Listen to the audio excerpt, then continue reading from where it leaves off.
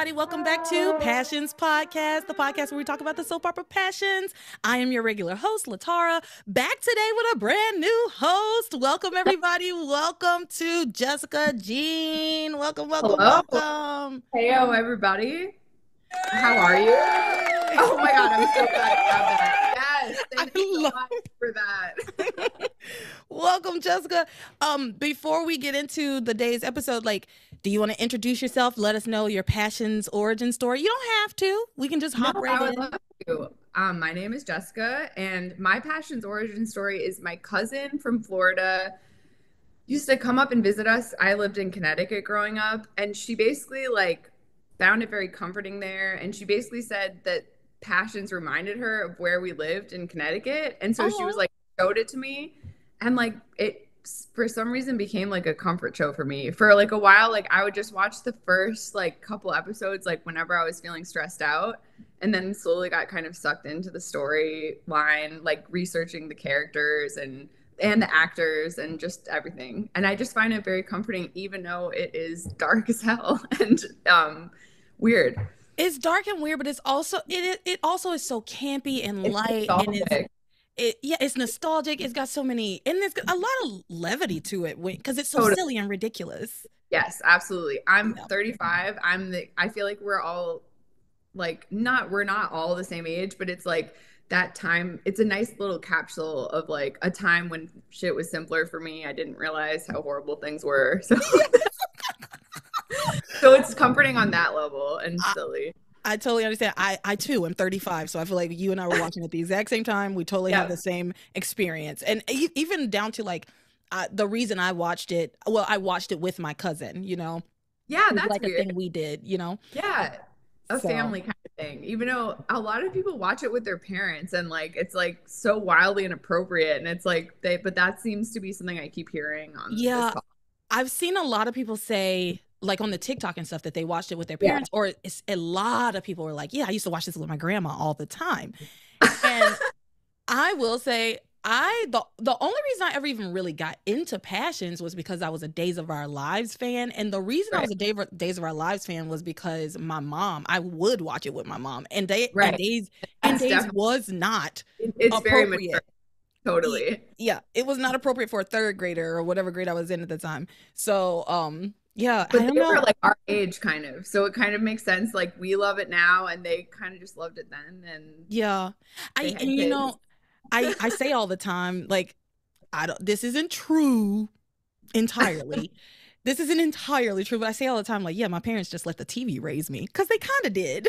oh, totally. No, that's no sh- that there's no shame in that. It was like kind of no, yeah, that's okay. Yeah. totally. So anyway, with Yep. that, today we are talking about episode six seventy one through six seventy five. Yes. Yeah. Yes. All right. And before we get into the episode, I want to say a big shout out to our patrons over on Patreon, of which Jessica is one. Thank you to Munashe, Brie Lynn, Lisa, Sid, Sarana, Randall, Hannah, Camelia, Samantha, Jeanette, Eric, Fantasia, Sean, S, Larissa, Maria, George Lopez Fitzgerald, Lisa, Jessica Jean, uh, Laura, Karen, Uche, Justin, Paige, Casey, Garrett, Tom, Shawnette, Pablo, Steven. This le- le- this list is getting long. It's really getting long. Yeah, it is. Steven, Daisy, Shane, and the latest patron, the newest, latest, and not necessarily greatest, but newest. Their name is I Lost the Game. I'm going with it. I love it. Okay, that's the first time that's not at all a name, and I like that. I'm kind of annoyed that I have to say that every week now, though. Wait, what is it again? You say it again? I lost the game. And do you remember there was like the game? every time you say it. Yeah, do you No, do- I don't remember the. there was like this like I we didn't really play it, but I heard about it as like this game and is like I don't know, and then you lose and I don't know. But now I have to say I lost the game every, every week, but I'm all right with that. All right, So Good. even though I I never win I never lose at any game. I'm a winner, baby. right. Yeah, exactly. That needs to be said. Absolutely. yeah. So. Mhm. With that said, it is time to go on with the show. Today, we are going to start with Chad and Whitney. I'm excited to start with Chad and Whitney, honestly. I feel like they I so uncomfortable with every scene that that was happening and like i kind of fast forwarded a lot of times through them. You know what? That's fair enough. It, it was I- uncomfortable.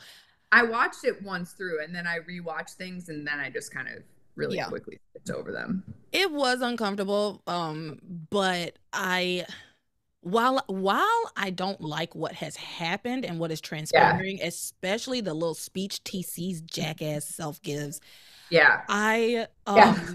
i do appre i do appreciate that at least we are getting some whitney and Something, chad yeah. and something from them and that there's some something interesting happening so i i mean i'm excited to kind of talk about it it, it is There were some-. But there were some like hilarious parts of it too. Like just like I feel like they made it seem like it was the raunchiest thing ever that Whitney did. And then they kept cutting to it and she was just like slowly kind of dancing. And it's like, what was so horrible about that? Like I That understand. exactly what I said. I think I was talking to Eric last week, and that is exactly what I said to him. I was like, I was like, yeah, they're making it out like Whitney was being like, was, a like, super naked. slut. And Yeah. she literally was singing a song. And and oh, I think it was Maria. And Maria mm-hmm. was like, Well, she was singing a song on a guy's lap. And I was like, Yeah, and and For and, her, that's a little crazy, I guess. right. For Whitney is crazy, right? Yeah. To the rest of us, it's like, okay, that's not that big of a deal. Yeah. Yeah. So haven't done that. But have I sung oh, I've definitely sung a song on a guy's lap. I've definitely done that. Like I totally done shit like that. But Like- I don't admit it.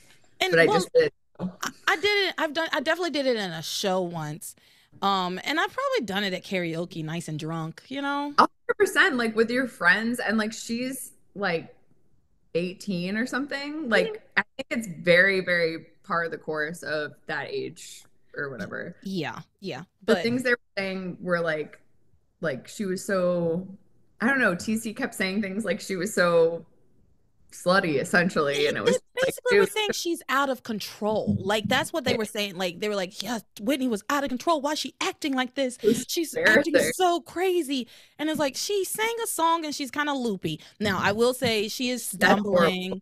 Yeah, yeah. it is bad that she was clearly drugged and whatever Yeah. And that's another thing. We're gonna get into it because we you you and I are already off on a tangent, which I love. But that's another that's another thing that I brought up last week is that she clearly was not drunk. She clearly something else was going on. If she was that drunk that she's stumbling, you would smell the alcohol on her. Eve, was- doctor of the year. thing. Yeah, exactly. Eve. Like read the signs, Eve. No, she was clearly like uh tripping a little bit. Yeah. Like she was herself or whatever. And that's not alcohol related. No, no. So, uh, but these Puritans in this town wouldn't know anything about what what alcohol is like. I guess. Uh, all right, so Sam and TC, let's pick up with these two men out in the forest. They're all, All right. looking for the kids because remember, Sam has told TC, You need to come with me. He pulled TC away from Chad, said Chad's gonna be going off to the B and B by himself, like, and I don't want to see you murder this kid, basically. Right. Yes. Uh, they're out in the forest looking for Sam's kids, right. and uh, T- TC's like, No, I need to get back to Chad. Uh, It's time for me to get back to Chad because to like murder him. Basically, Yeah. he kept saying that. Essentially. to the chief of police. And Right. and TC and Sam finally says to him, finally says, "Hey, buddy, you're not going anywhere because I don't want to see you. I don't want to have to arrest you. How about you don't want to? Ha- how about you don't want him to murder somebody? Right. You don't want him to kill a kid. He's like going off to kill a kid. It's crazy. Uh, for Yeah. something that you don't even believe the kid did." Like Yeah. Sam makes that clear later too that he doesn't even think that Chad did anything to Whitney. So anyway, Yep. Um. eh, Meanwhile, oh, now this is where I love Chad to death, but I said this last week. I, he lost me entirely when he snuck into he snuck into Whitney's room. To check on her. Yeah, to It's check on her. Like, okay, no one does that. like, we know what you were doing. you don't have to check on her. Also, like she's at home, safe in her bed, where her parents Yeah. are. Yeah. Like I think her mom has it under control, right? But then maybe Chad knows Eve as well as we do. And he's just like, she's a hot mess and I got to check on Whitney. yeah, actually, let me go check on her because this doctor, mother yeah, she hers, might be dead in her room. her mom might have given her more drugs. Yeah, exactly. Let me just ease this for you. 100%. Well, he- but I he- agree. It's sketchy a little bit. what say that again? It's sketchy. A little bit, yeah. That he went to go check on her, like because he was worried about her. He's Yeah. like a boy, so yeah, it's nonsense. So, um, uh, he goes to check on Whitney. And sneaks into her room and he tries to get like she wakes up right and he's trying to get Yeah. like some answers out of her about like why she's acting the way she's acting and um and then when she kind of wakes up and sees him she just is like oh Chad and she starts kissing him she's super horny Yeah. she's been super horny for Chad forever anyway right Yeah. Yes. so um, she just starts kissing him. She's pulling off his clothes. She's pulling off her. She takes her top off. And to me, at first, I wrote in my notes, he's not resisting enough. Like for me, in my opinion, like, no. yeah, it's very Willy Wonka when the kid falls into the the, the chocolate river. It's like, Yeah. oh no, please don't Oh. stop. Like 100%. yeah um but uh she then says something to the effect of like it's time for you to see all of me and like rips off her clothes right and meanwhile eve and grace are in the hallway like talking about the the events of the night right and eve has this fear that whitney might make the same types of mistakes that eve herself made when she was a young kid Right. and Grace is like, well, Whitney knows better than that. She's not a slut like you were. She's not dumb like you were. I totally clocked that too. She's like, Whitney is a level headed, intelligent girl. she's not gonna get, she's not gonna let anyone get her pregnant like you. Yeah. Like as if it like requires an idiot to get pregnant. Like when you're young, it's like it happens. Yeah. Uh, Yeah. So that they have that little conversation, and I- get Eve does seem to be comforted by this information does from. Grace. Mhm. but they go into the room and Eve is mortified, terrified. She's like, "What the hell is going on here?" And Whitney's like, "Oh, hi, mommy." So awkward. Yeah, so uncomfortable. It's crazy because this girl is clearly high as hell, and in like five minutes, she's going to be stone cold sober. And Right. That's yes. It's so not how drugs work. Also, like the hi mommy thing was just like weird too. It was like she's not inebriated, she's like a different person. And then she was totally sober and didn't remember any of it like two seconds later. Yeah, yeah. She's like, "Hi, mommy, what's up?" And then in a few minutes, she's just gonna be perfectly fine. Um, Totally. so Eve is enraged, and she immediately just starts to attack Chad, which I understand. Frankly, I'm I'm not. I'm gonna be real. It looked crazy. I guess so, but I guess my thing is that the way she attacked him was hilarious. Like she was just like boop boop. I was like, oh no. Win- windmill arms. Just yeah, like- hundred percent. Like, okay. yeah, it was funny. Yeah. Um, but yeah, she she attacks Chad. Like I said, I get it. It looked crazy. It looked she. I mean, Whitney's naked. Chad's half dressed, and they were kissing when she came in, oh, right? Oh yeah. And It- and up to this point, Eve had basically been trying to sort of kind of defend Chad a little. Like, we don't know what happened. We don't know that that's what he did. She does say, she did say last week, she's like, I can't, we can't put away the possibility that he did something to her, but it doesn't seem likely. That's basically what she Yeah. said last week. Yep. So now Chad has basically reinforced all the things that TC has been saying about him. And I Yeah. just hated it. It was so stupid. It was a dumb, dumb, dumb choice to make. Um, Yeah. Yeah, she's fighting him, fighting him, fighting him. And he's trying to say, it's not what you think. It's not what you think. How, and she's like, how dare you? We let you live in our house and this is how you repay us. And she's just fighting with him. And then she sees Julian standing in front of her. Like Yeah. Chad morphs into Julian and she's like, Julian. And she just goes harder at him, right? Yeah. Yes. Um, and Chad's like, why are you calling me Julian? As he's like fielding the hits. Yeah. And uh this is when Sam and TC return to the house Yeah. and they make it up the stairs without hearing any commotion.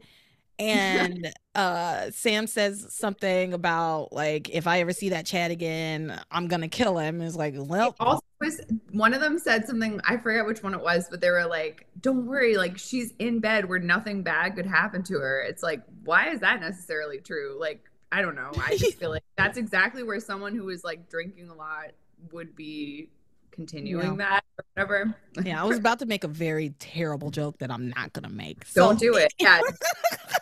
Gonna- like it wasn't even gonna be a joke. Like it really was just gonna be a call into something that has happened, but I'm not gonna talk about it anyway. So Sam and TC decide to go upstairs to check on Whitney. They get there and TC, of course, finds Chad Eve fighting with Chad Right. in Whitney's room Yep. and uh he says to Chad, "Did I didn't I tell you to stay away from my daughter?" And Chad then Chad's like, "Well, she hey man, she came on to me." Wrong Oh. I know. I was thinking the same thing. I was like, he was like, she wanted it. Like, it's like, dude, shut up. You're in her bedroom. She came on to you. You snuck in through the window. It's not looking good for you, Chad. Also, that's throwing her under the bus to her dad. Like, he's being like, I feel like that's what it is a little bit.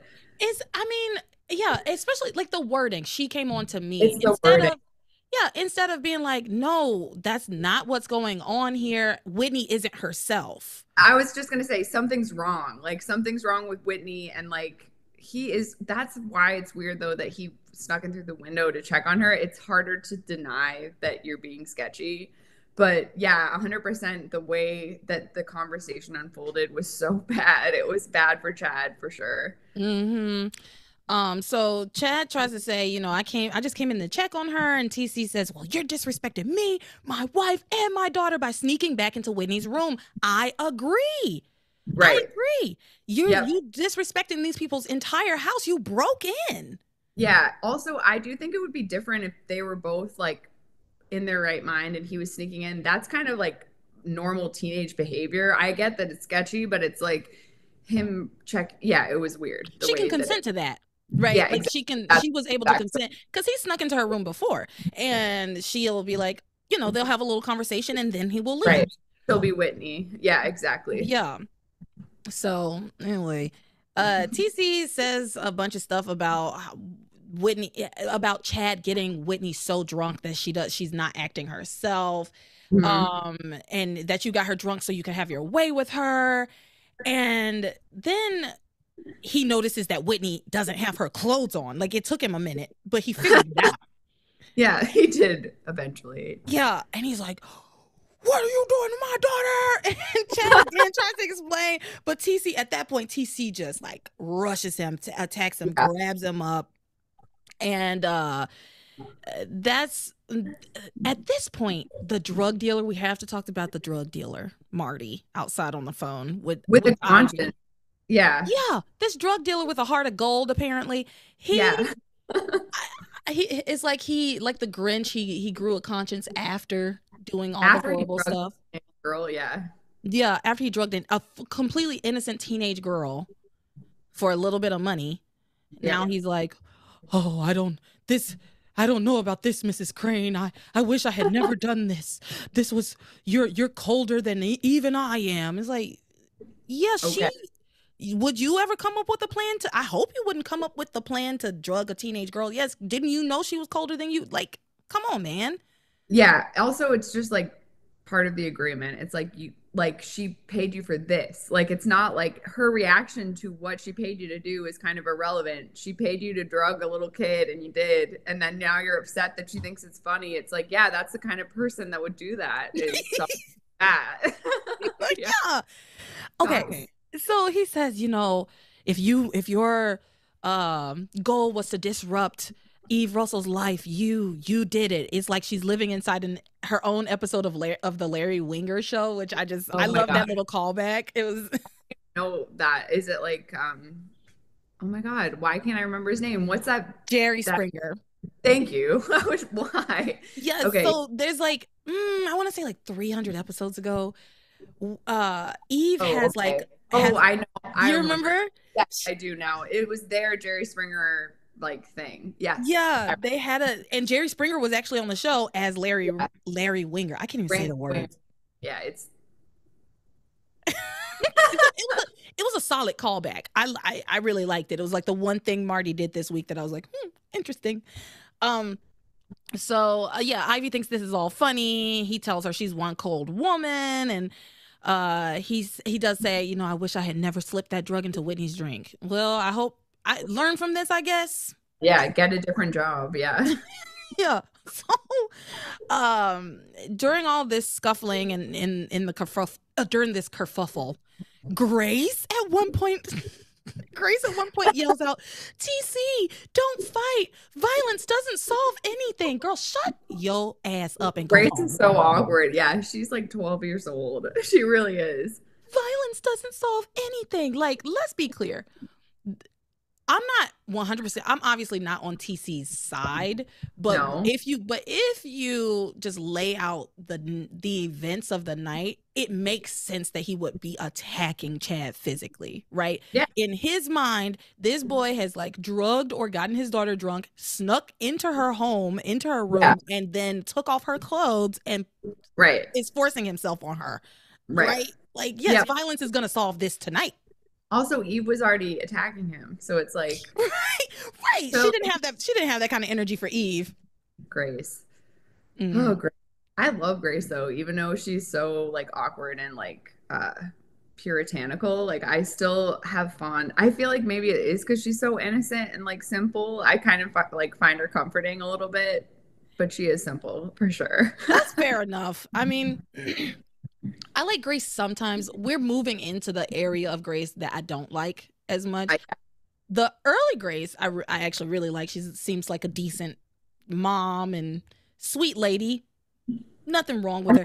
this is all me watching it for the first time at this point. Like I I watched a lot of the earlier shows like repetitively. Like I would like watch them for comfort and then this is all new to me. So I'm kind of like I don't know where it's going. And and you guys keep foreshadowing things like about the characters. Like Beth, for example, like I know she's bad news, but I don't know why. 100% like she's bad.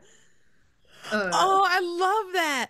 Oh, I love that. You don't know. That I, I try on the podcast not to like spoil stuff too It's much because I know some people are watching um for the first time or haven't Yeah. watched all of it. But sometimes it's tough.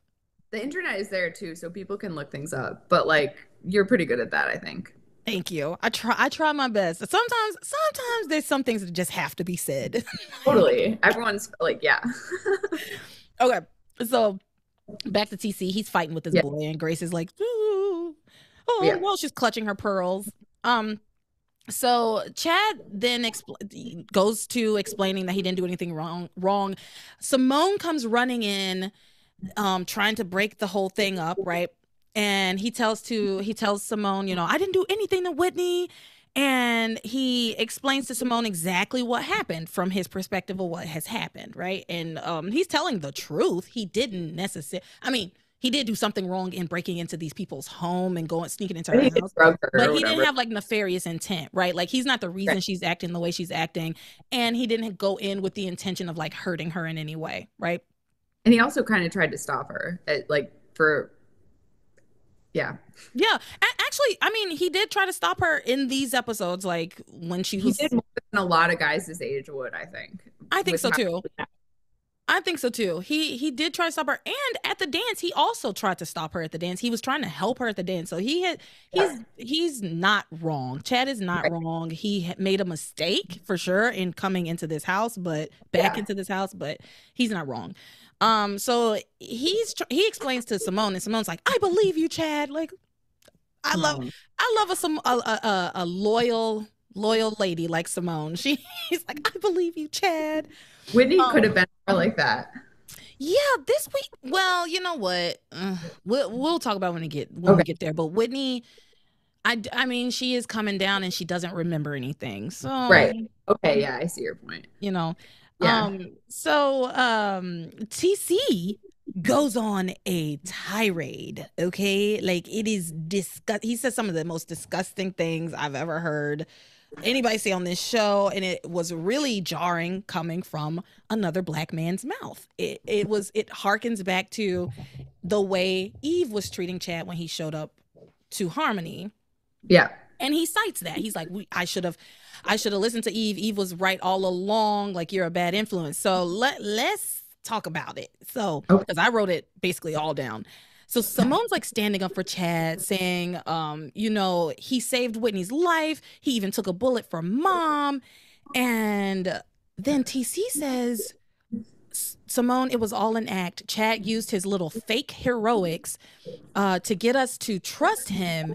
And do what do we even know about him? Nothing. Nothing at all. What do you mean you don't know anything about him? You've known Right. him for several years at this point. It's episode 600 something and yeah, he and he's done so much to prove himself and like it's just ridiculous and um yeah, I agree basically. He says Chad ain't nothing but a punk from the streets of LA. Yeah. Yeah. And then, and then he goes on. I mean, y'all, he was not, he did not mm-hmm. stop. He just went on and on. He says, mm-hmm. uh, he drifted into harmony and found a family that was trusting and foolish enough to take him in. That And- was I was like why would anyone go to the such great lengths to like fool you into hooking up with their daughter? No one cares enough to do that. Like it's no not even gratifying enough to do that. Like it is nonsense. a couple of things too. Mm-hmm. Chad is a ladies' man, right? Like we've seen there's several girls who are interested in Chad. He he just likes Whitney, but he could find another girl if he was just trying to be a scumbag. He could do that Yeah. very easily. Right. Um, Chad then also interrupts him saying, "Oh yeah, uh, I always my my motto is always be willing to get shot for food, right?" Like, he's like, "Yeah, y'all fed me. You think that you think that I got shot so y'all would give me a couple of pop tarts, like no. Yeah. Yeah. So um TC tells him, shut up, shut the hell up. and he just continues on this crazy tirade. He says, Yeah. uh, you took advantage of us, you took advantage of all this of our circumstances, but uh wait, took advantage of all the circumstances. Uh, whatever. Yeah. You took advantage of us, you took advantage of all the circumstances, but your true colors came out. See, Simone, this is how they do it in the street. Oh my God. It's like no, it isn't. It is not how they do it on the street. What are you talking about? See, It's Simone. so- yeah, the the people that write for passions are just horrible. Like I feel like that's what we're hearing. This is how they do it on the streets. Huh? Can you elaborate, TC, please? He can't because he doesn't know anything about the streets. No. He said, "This is how they do it on the streets. These, uh, they these punks, they don't have any morals or any values. But it ain't gonna happen in my house. No way in hell." And this is the moment when Whitney sobers up. Yeah. She's like, what? Perfectly fine. Like Yeah. she should be truthfully, Whitney should basically be knocked out for all of this. Like she should be asleep Totally. at this point. Like Yeah. as as messed up as she was, and again the drugs we we're not entirely sure what the drugs were, and I, Yeah. I- it seems like it must be like some kind of A made up drug yes. because it, it couldn't be a roofie because she'd be knocked out. Yeah. And she like she would be at this point kind of going in and out and like falling asleep and be asleep for quite a while, I think. Yeah. She would definitely not be just all of a sudden Whitney. Yeah. Well, and that's why I think last week last week me and Maria like thought it might be ecstasy, it could be Molly, it could be something like that because it made Yeah. so amorous. But also Yeah. when you're coming down from that, like you don't just wake up, like you're you go to bed. Like Yeah, 100%. There's a come down. You feel weird. You're not all of a sudden just completely sober. no, no, no, no, Yeah. no. Um, so anyway, she wakes up, she's she has sobered up, she's coming to her senses, and she's like, What's going on?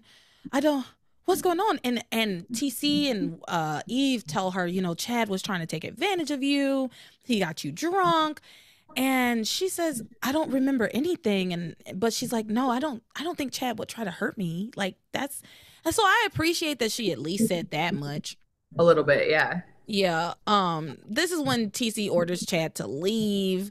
Uh, because Chad says to her, you know, I never did anything to hurt you. I hope you know that. She he's trying to talk directly to Whitney because his her parents, rightfully so, are kind of forming a shield around her against him. Yep. Understandably so.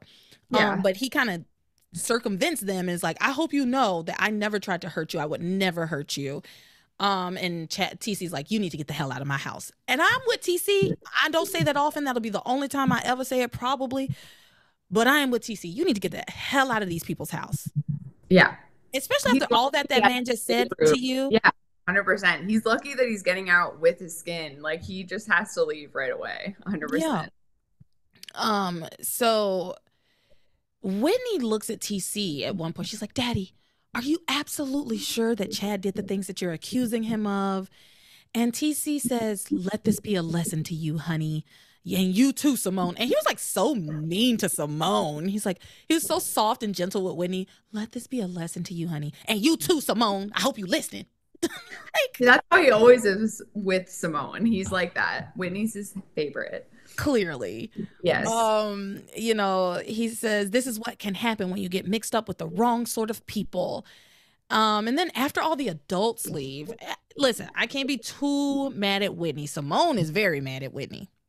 Simone's like ridiculous, I feel like. Yeah. Simone is ridiculous. Simone is delusional, right? That's what it is. Yeah, exactly. Simone just, is yeah. She's delusional. She's not on planet Earth with us. Yeah. But I do understand I do understand the the level of emotion that she is having is just directed in the wrong direction. Yeah. Like something clearly is wrong. She she herself knew something was wrong wrong with Whitney and something bad had happened to Whitney. She's the one that called her parents in the first place because she was yeah. scared that something bad was going to happen to Whitney because she was acting strangely. So she knows and now she sees that Whitney's like can't remember anything you know, and Whitney herself is scared because that's a scary thing. Waking up and being like, "What happened?" Yeah, clearly been having been drugged. I feel like that was a very unsisterly reaction. Like if my younger sister did that to me, I would feel betrayed. Like she should have my back before anyone else's and her she just constantly is doing that though, like choosing Chad over Whitney and it sucks.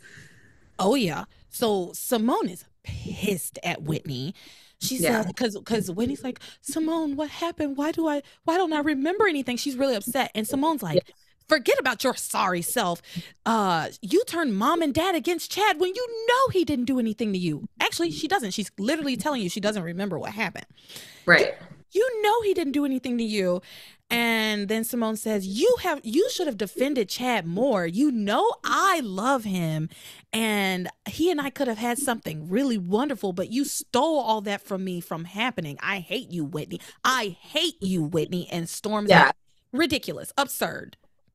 Absurd. Yeah.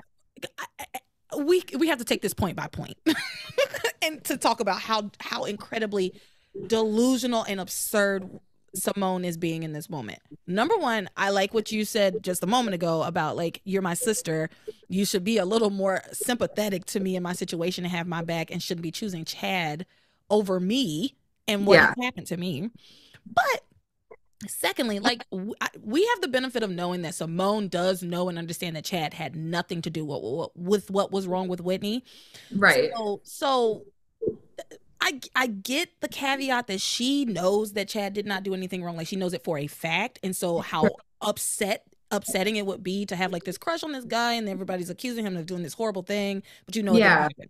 However, the level of anger, the level of vitriol she had for her own sister in this moment, who is telling her, I don't remember what happened. I feel like she took it as an excuse to like and like to further her delusion. Like it gave her an out to be like we were about to fall in love. And it's like you were not. I'm so sorry but you weren't. But she was like we almost had it all. And it's like you did.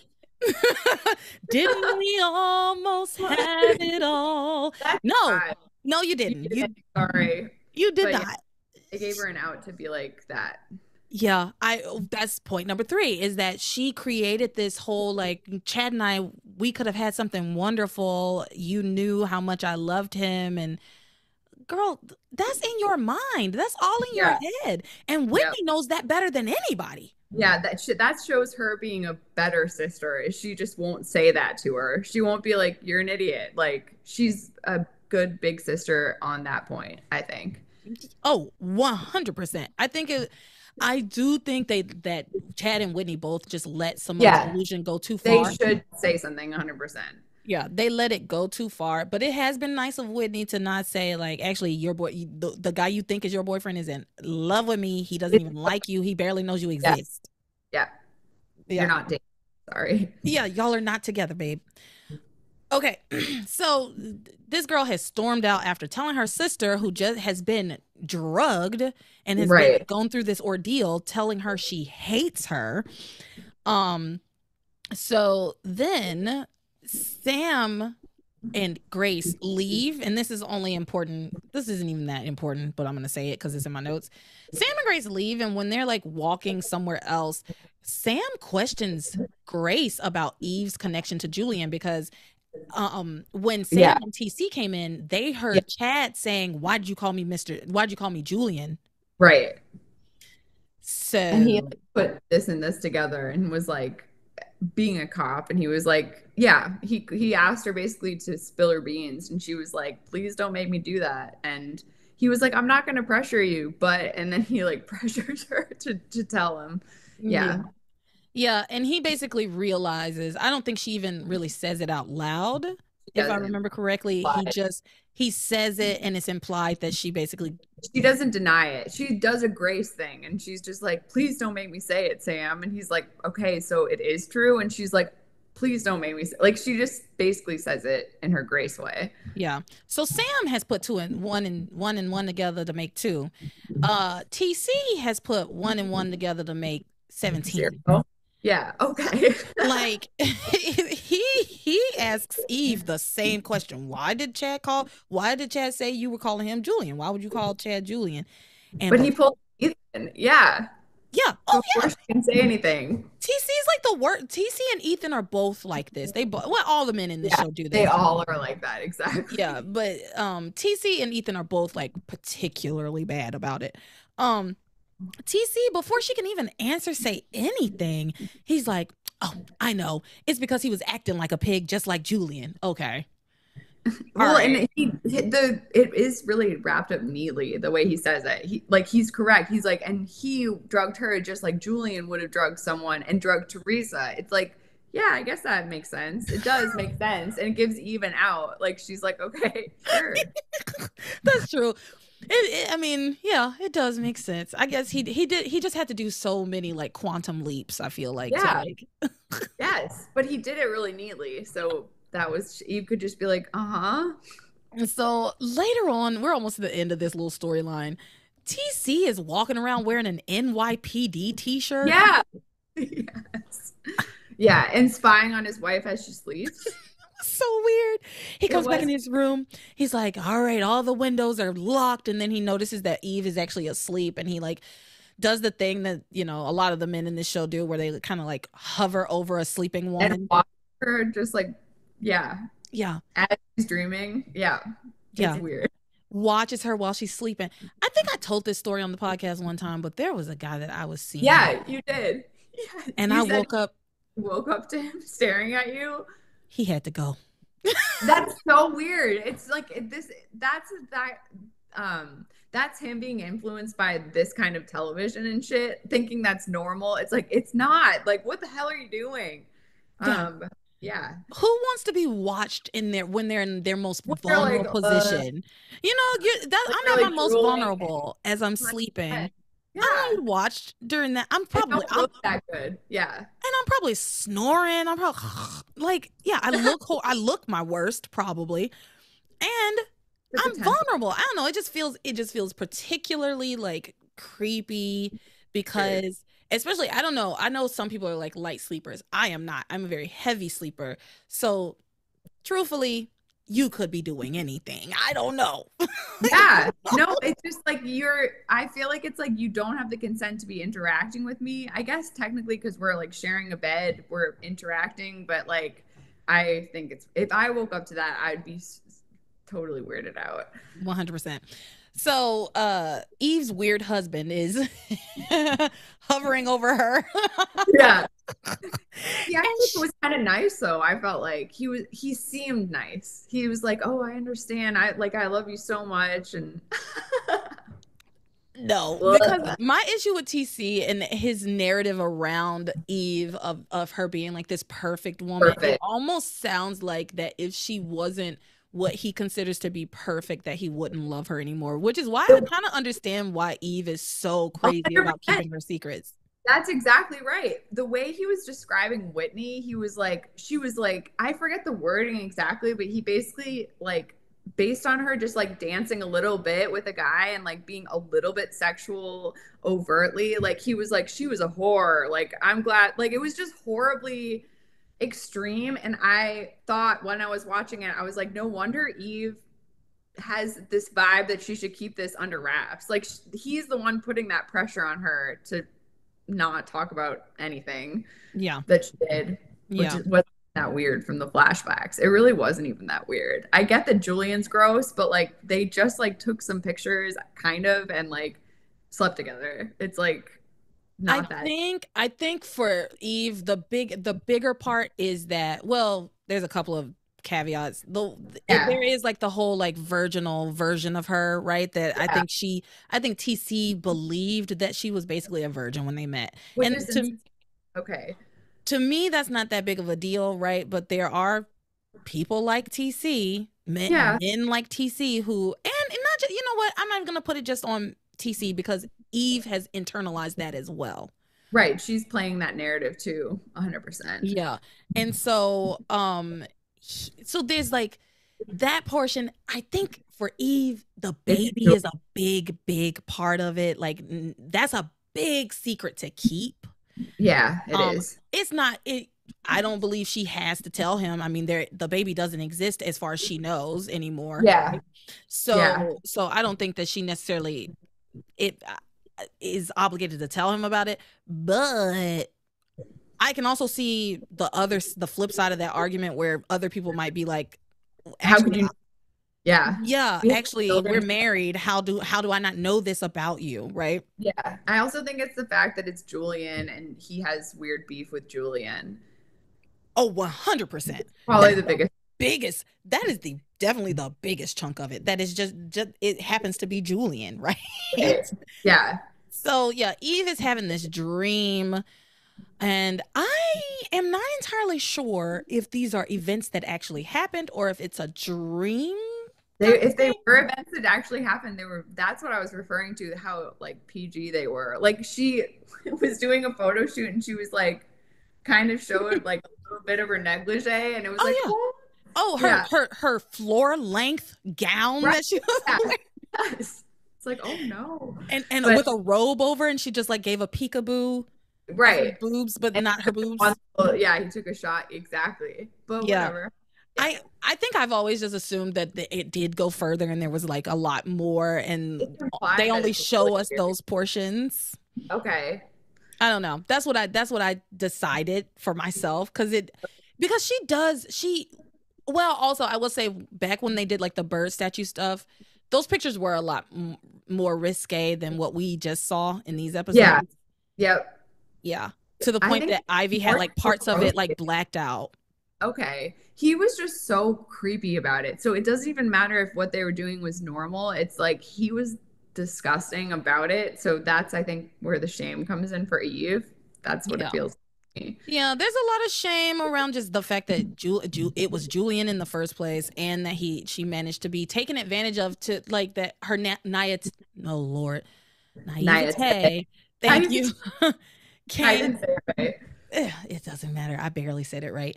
Um, that he took adva- advantage of that, and I think get the drugs was a big part of the alcohol. That portion of it is also part of her shame that she ever Yeah. Partook in any of that. I think her kids would respect her more if she was honest with them about it. Me too. It would make also- them feel less restrained. I also think that they're less likely to do it, right? Like she thinks they're under the uh she's under this um understanding that if they knew this about her, then they'll go out and do the same things. It's like she's giving them a green light. But she's a cautionary tale. She could tell them the truth.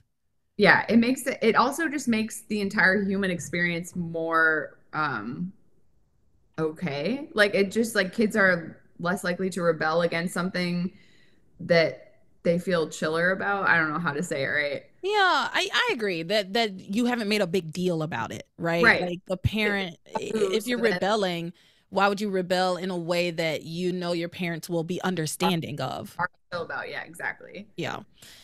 Um, okay, so she has this dream. She in in her dream she starts to fight with Julian and so outside of her dream she starts to say Julian's name and she's like, "Stop, Julian, get away. No, Julian." Of course, like why why is Julian in your dreams? yeah, why is Julian in her dreams? Like why does it is a dragon in my dreams? I don't know. Like Yeah. don't right. read into it, TC. So she wakes up. He asks, questions her about like what's going on. Why was she swinging at Julian um in her dreams? And TC again is like, wait a minute, I know what's going on. And he says, you were dreaming about my issue with Julian. Shut up. Just Yeah. shut up. Yep. Go to bed. Go to bed. I'm I'm sick of TC. Um, and then he says something about Julian turning out terrible, but he never had a chance because it's in his genes. Look at his father, and and Eve like flips out. She's like, "I don't believe that. I don't believe that a child is doomed to to repeat their parents' um mistakes." And TC's like, "Calm down. I was just saying that he was raised a certain way, so that of course that's why he acted the way that he acts." And he's like, "But Right. He's like, I just hope that our girls will turn out just like you, beautiful Per- inside and out. Perfect. Yeah. Yeah. He sucks. She's like, I you not to say that shit, but he just keeps doing it. Yeah. So that's all I have with the t- Chad and Whitney stuff. You got anything to add to that? No, as I on. said, it was the thing that I like was like the most cringed out by, and I like tried to just kind of skip past it. I was more focused on the other storylines for sure. Yeah. I yeah, agreed.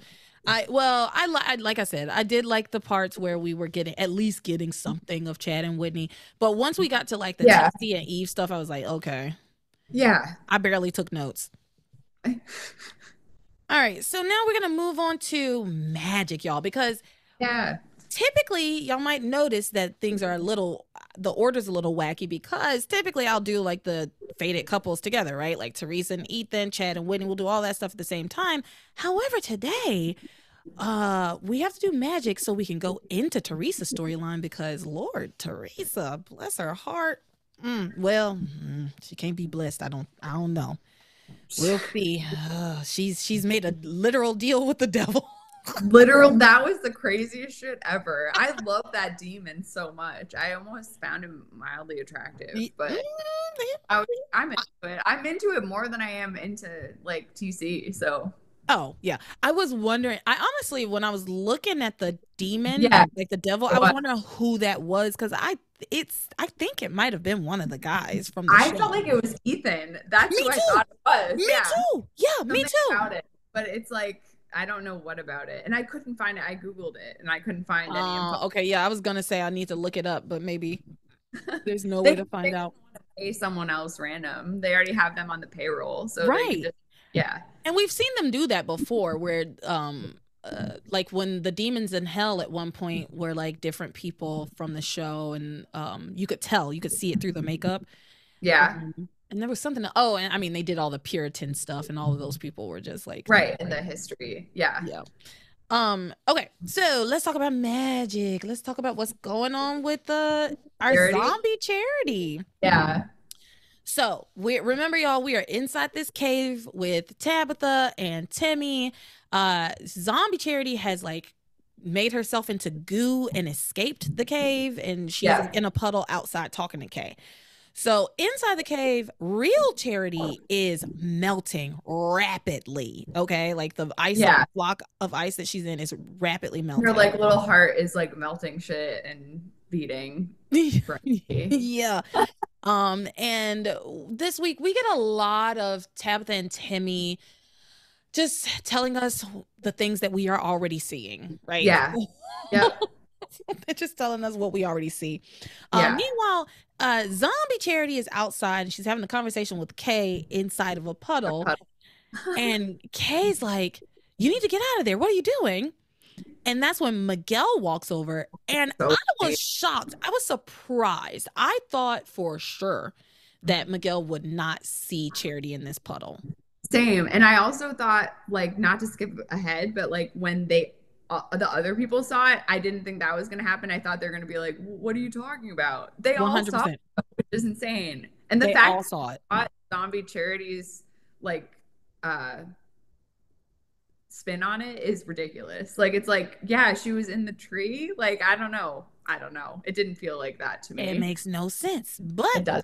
Miguel sees her in the puddle and he looks at Kay and says, What's going on here, Kay? What's happening? If I'm Kay's like- Kay, if Yeah, I'm the like, moment I would immediately be like, I just saw it before you saw it. That doesn't mean I know anything about it, right? Of course. No, of course. Well, that's kind of what she does. She doesn't, well, she uh, is a little freaked out, I guess, but she does play it off pretty good, I think. To me, she was acting a little too nervous.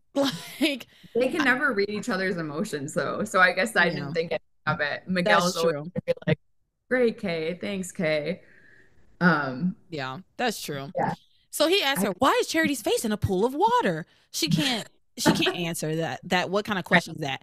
Sam and TC show up. They also immediately see Charity's face in the pool of water. They're like, "Oh my god, yeah, I see her there too." Yep. And uh, uh, Kay tells Zombie Charity once those guys. I don't know where they go off to. They walk away from Kay for a moment, but like she has the opportunity to talk to the puddle for a while, and they reference that. They're like, "Kay's talking to the puddle." It's like so awkward. yeah. Yeah. What the hell, Kay? Yep. Yeah. Um, she tells Zombie Charity, get lost. They they obviously can see you. You need to get out of here. So the puddle like drains away. Yeah. And uh Miguel then tells everyone, because now like the other kids I think have shown up too. Yeah. Tells them uh that he saw Kay talking to that puddle when he walked up. Right. Way to make her look bad. And again, Kay's like, what? What? I don't what? She's trying to trying to feign ignorance, but they are interrupted by this devious laughter. And the laughter, Really. Yeah, very- yeah, it was very devious, very creepy laughter just coming from the trees. And Yeah. like, what is that? What is that? And it turns out to be Charity up in a tree. Zombie Charity is up in a tree. Yeah. Um, and she starts laughing. She says, Ha ha ha ha. It was so funny watching you all run around like chickens with your heads cut off, looking for little old me. Um, Such a psycho. yeah, and she tells them, you know, um, because Miguel's like, wait, how'd you get up in that tree? You were in the cave. And she was like, ha ha ha, I was never in that cave. I was just throwing my voice into the cave just to trick you. And he's like, why would you do that? And she's like, she's like, just because I can. And then she basically calls him an idiot, says, you know, Yes. "Oh, Miguel. I was never behind that rock wall. You're so stupid. You're a little thick. I think she calls him thick. She calls him dumb several times in these episodes, which I thought was funny. Yeah, and well, and she's not wrong. He is an idiot. So Um, dumb. And then she says it was a practical joke. Everybody's upset and angry with her, rightfully so. Yeah. Um, and then they question her about the puddle. Like, wait a minute, but we saw your face in the puddle. How could we have seen that? And she's like, oh, it was just my reflection. what? She was like a stoic portrait. Like the reflection wouldn't have made sense. You would have seen her as a reflection up. Like it just wouldn't have made sense. But they all bought it. So the tree she was in was not over that puddle. It didn't also look like she was from a tree. She was standing like this. Like it was just not believable. I actually was kind of impressed with Miguel. I feel like he kind of pushed it together and like was like, "This is evil magic," and I was like, "Yes, thank you. I can't believe you." Yeah, he literally says that he's like, "This is more than a practical joke. It's magic. How did you do it, Charity?" Um, Yeah. because they when they question her about the puddle, but again, she says it was just her reflection, and then she also explains that she was just vo- throwing her voice behind the rock wall. And then they asked, I think Reese was like, "Well, what about the lights? What about the lights from earlier?" And she was like, "Oh, it was just my flashlight. I had my flashlight." And they're like, "Where is it now?" She's like, "I threw it away. Why?" Wouldn't that have been? Wouldn't that have tipped you off so? hard? I would have uh grilled her farther on that if someone said that to me. I'd be like, "What do you mean you threw it away? Like, why?" Yeah, exactly. Yeah, threw it threw it away. Where? Where is it? Neither did the perfume story make any sense. Like, why would you? It was just very strange. She had a very neat answer for everything, and which sounds sketchy. Yeah, it was. The thing is, Charity, as I've been saying for many, many episodes now, Charity, if you're just looking at her, we take away the magic, we take away like that that she really has been experiencing these like crazy um paranormal things. She just seems Yeah. like a crazy girl, right? Yes, a lot.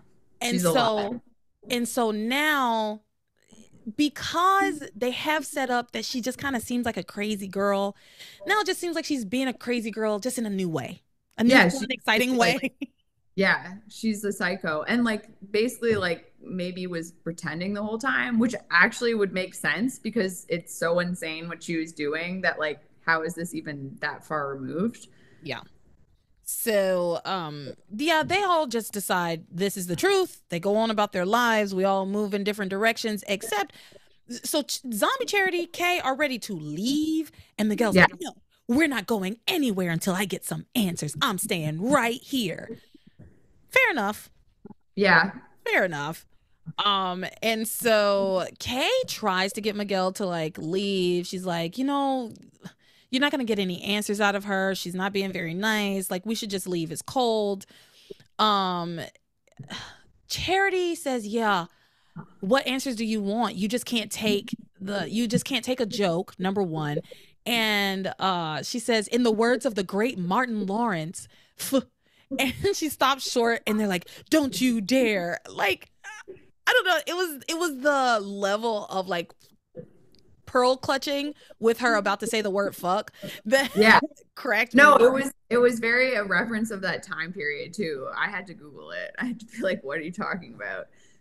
I just went. I knew she was trying to say "fuck you," but then decided to say "forget you." You I don't know when Martin. Say that. It's like chill. Yeah, but that don't you kind of relate to zombie charity? I mean, a little bit. Like just being like you're I such her. Yeah, you're such a wet blanket. Like it's just like yeah. I like her. Honestly, I. I mean, I get it. Listen, let's be like- clear. Timmy. And that's pretty much it. That's really my only problem with her. Yeah, she is so mean to Timmy, But that's really actually it. I actually do like her too. Yeah. I. But see, that's the thing. I like most of the villains, right? Like, Yeah. I, I enjoy them. Like even like Rebecca, I enjoy watching Rebecca work. Yeah. right? Yeah. Like I don't like her tactics. I don't like the, a lot of the things that she says. But as far as watching her on TV, like watching the story unfold and how dynamic she is as a character, I enjoy it. So I feel the same way about zombie zombie charity. She's bringing in so much material that it's enjoyable to watch. Yeah, I I I, I kind of like her, and and I don't like Miguel very much, so I kind of like seeing him get hurt. I, I know Yep. that's mean. No, it's not. It really isn't. Because he's like in his own weird, politically correct way, like is a not abusive, but like he's just as evil in a weirder, more tame way. Like I feel like he is manipulative and gaslighty. I love that he keeps saying that um Kay is in love with Reese. Like he's like, we all know you love Reese. It's like, what gives you that impression, Miguel? And just like how uh possessive he is with charity is weird i think Yeah. We're about to get to it. I wrote in my notes how annoying and how much I can't stand Miguel um in the things that he says. So anyway, uh he Miguel grabs Zombie Charity after she's like, "Forget you," and she's trying to walk off. He Yeah. grabs her and he tells her, "You know, we we have lots to talk about." And uh, you're not going to leave here until you answer my questions. She tells him, Listen, there's no questions to answer. I'm tired of your prim and proper routine. It's boring, just like you. She calls him boring. She's trying to leave. Kay tries to get him to leave. He just refuses um to go anywhere. He continues to like badger uh cha- zombie charity. And he's like, "No, I want my answers now." And he's like, "I want to get to the bottom of things now." And then Kay says she's trying to be like, you know, charitable to- towards charity, right? she says, yeah well maybe charity just uh maybe she just needs some time to chill out and get in touch with her own feelings maybe we should give her some space and this was great zombie charity goes oh that's nice kay but i know you're out for yourself and no one else. And uh, kay is like what are you talking about? She says admit it. You're just trying to get him get miguel away from me because you want to be alone with him because you are madly, deeply, head over heels in love with him, and always have been, right? So she, Yeah. she kind of, uh, in a way, she blows up Kay's spot, of course but she in does. another way, she didn't because Kay has confessed her love to Miguel no less than three times. yeah that's true also it just it gives kay a, an out for her own like thing like it, it's like saying the thing out front out right so that then she can deny it um as a a second party or something Yeah. Zombie, the zombie actually did her a favor, but it upsets Kay it was weird that she betrayed her creator like that like Well, like- we we're learning that she's more than just Kay's zombie, right? Like Yeah, now, absolutely. She has her own evil agenda. She has her own evil agenda. She last week we learned that she actually has been um tapped by the the friends in the basement the underworld guys have been they gave her tabitha's powers and tabitha's old job that's what that that's how they phrased it last week so yeah. basically it's her new job to bring pain and suffering to harmony yeah uh, and so yeah kay brought her in but she, she, has her own life of her own. She's leaving Kay in the dust. She, you yeah. know, but she actually kind of did Kay a favor, to be honest. She, she still that what she did for Kay just now only is going to make um, Miguel more sympathetic towards her, which we see coming up. Yes. Yep. Right. So uh Kay runs off because she is embarrassed. And I get that. I kind of get that. Even though she's already confessed her love to this boy multiple times. She's not embarrassed. Her cover was just blown 100%. So she's like, shit, and just doesn't know what to say and then runs off. That's about yeah. And oh, good, I cannot stand Miguel. So Miguel sa- says to Charity, like, "You're being so mean," and then he goes off to like find um Kay. And uh when he catches up with Kay, I he's so annoying. He's like, uh Kay, Kay, oh, oh, actually, before he catches up with Kay, in that whole little thing, he says, like, oh, what are you talking about? Kay's in love with Reese, which you already said, but I just yeah. want to talk about it for a second. I am so sick of that fucking line. I Me am too. sick to death of the what are you talking about? Kay loves Reese. Okay, I already know that you don't love me. You love Reese. You have been given zero indication that she is in love with Reese. They haven't dated like at all. They haven't been at all. Like it's weird. You have every reason to believe that she's in love with you and no reason to believe that she's in love with Reese. It doesn't yeah. he I'm so sick to death of that because it feels like a cop out. It feels like Reese, uh, not Reese, it feels like Miguel says and invokes Reese's name anytime he feels like, oh, I have to make sure and make make a clear separation between me and Kay. Yep. Yes. But Instead of just being honest with her. Right. But he says then other things like that imply that they're getting closer and like he says things and does things that imply that they are have a special connection and then he's like but we're just like chill and you love Reese and we all know that and I would die for charity but yeah. I hate charity and like yeah so Miguel after charity does say all those mean things to Kay and out basically outs her um Miguel says, Charity, how could you be so cruel? What's happened to you? And she says, I guess I've changed. And she walks away. Yeah. Mm, fair enough. And yeah. then uh, Miguel then hears Charity's voice calling out to him, Miguel, yeah. Miguel, because inside the cave, Charity yeah. has pretty much completely thawed out. She's still kind of like asleep. So she's calling out his name in her sleep. Unconsciously, yeah. Yeah. Um, and Miguel's like, what was that? Where is that coming from? And so zombie charity starts giggling because Tabitha inside the cave, Tabitha like muffles, puts her hand yeah, over, right. over charity's yeah. real charity's mouth so she can't make noise. And so Zombie Charity says, Oh, I was just throwing my voice again. And Miguel's like, Why would you do that? And she's like, Because you're so gullible and you fall for it every time. like you just did again. Yeah. He's like, ah, fine. And he he goes off. He's like, I'm gonna go find Kay. You, what you said to her really hurt. Really her. hurt her. Yeah, it's like okay. Yeah. So Zombie Charity goes back into the cave and she finds that real Charity has pretty much become unthawed, right? Yeah. And then she bickers with Timmy and Tabitha a little bit, even though it's like the, there's a pressing issue here. We need to take care of what's going on with Charity. Like blow some ice back on her, something. Which she does eventually. Eventually, but she's like bickering with Timmy and Tabitha. Um, and then Charity is like fully released, and the rock wall like comes crumbling down. Yep. Charity wakes up. She sees Timmy and Tabitha. She's like, "What's going on here?" And then she sees the zombie, and she's like, "I know what you are. I know who you are." and I know what you're up to. You're trying to destroy what Miguel and I have, but you won't get away with it. True love conquers all. Look at what true love can do. We get honestly, But the powers, okay, so the evil powers are like legit powers. She can like make shit come out of her hands and stuff. And then Charity is like, I'm gonna call on the powers of love. And she literally is just like, Miguel, Miguel. And she doesn't have any powers. It makes love look pretty weak, basically, and unmagical.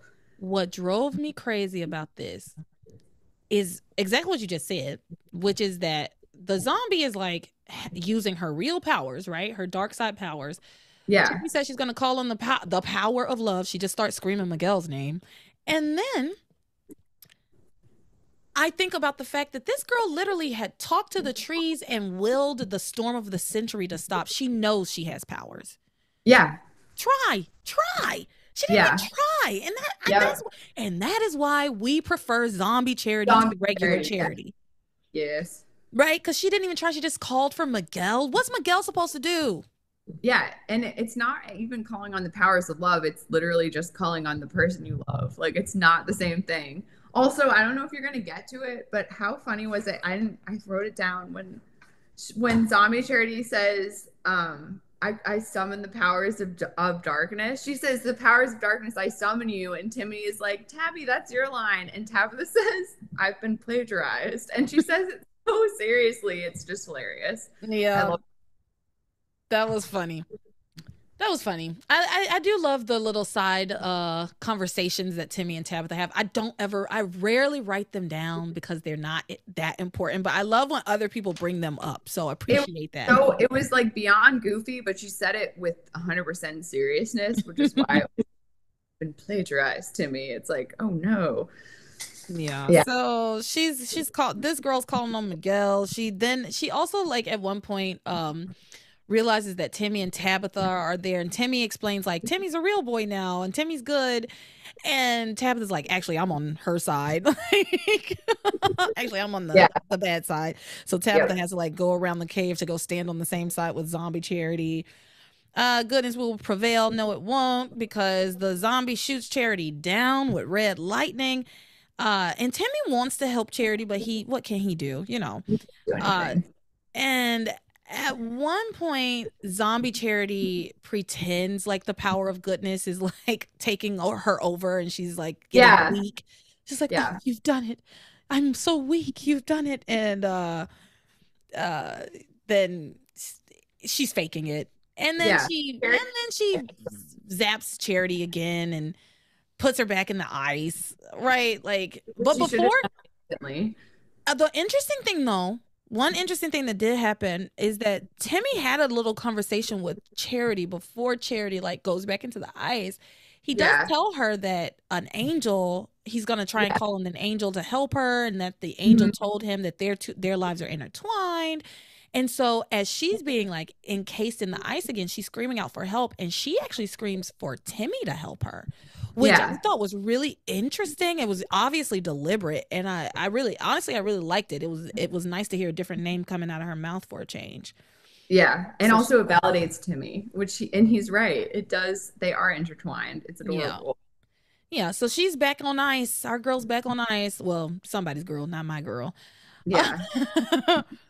um, and so then the zombie decides to zap herself back out of the cave. She says, I'm gonna go have some fun. And she leaves Timmy and Tabitha inside to watch all the events unfold on a little piece of magical ice. So they're watching Yeah. ice television. Yes. So now let's talk about what's going on with Kay and Miguel. So Kay has like run off. Miguel is coming to catch up with her. Uh Kay is regretting her Yeah. regrettable decision Yeah. uh, to put her real cousin on ice and to make this zombie and she's trying to figure out how to stop things before they get worse because she sees the writing on the wall and it's crazy because girl we did this before you did all of this shit with Hec- hecuba before right Yeah. like you you knew the consequences you knew but you're the one that was like consequences be damned i'll never be good again right and now you point she's like um she's like it's not like i brought a monster into this world or something. And it's like you literally did that. Like literally. A literal uh, demon. she's unaware of what she did i guess. But, yeah. yeah. So she's contemplating telling Miguel the truth so they can put a stop to all of this. So, you know, we can give our girl a little bit of, you know, all right, she's thinking about doing the right thing. Miguel then catches up with her. And like I said, she's ready to come clean. She's like, Miguel, I have to tell you something. And Miguel interrupts her and is like, I already know what it is. You want to talk to me about what Charity said. Um, and he says, yeah. but there's no need.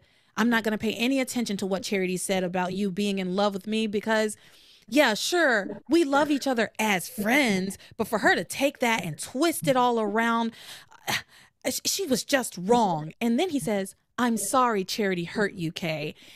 Which I loved that line. I love that line because Kay's the one doing all the hurting, right? Like, yeah, absolutely. I loved it though. And it's funny because Ch- when Kay heard him say that, she also loved hearing that, right? Like, well, yeah because it means that he she's uh, getting away with it. Yeah, it's working, right? It's yeah. working. And yep. then he goes, "I can't mm. believe your own cousin would turn on you like that." It's it's just so like perfect because that's what she's doing, right? Yeah, exactly. Yes. And but Kay does try to tell him the truth again. To her credit, she starts to try and tell him again, like, "I Miguel, like, there's there's more you don't understand." And uh, Miguel, of course, interrupts her again, and he says, "Don't try to excuse what what she's done, and don't think that I will ever, ever let her come between what we have." Oh, what we have? You won't? Oh, okay.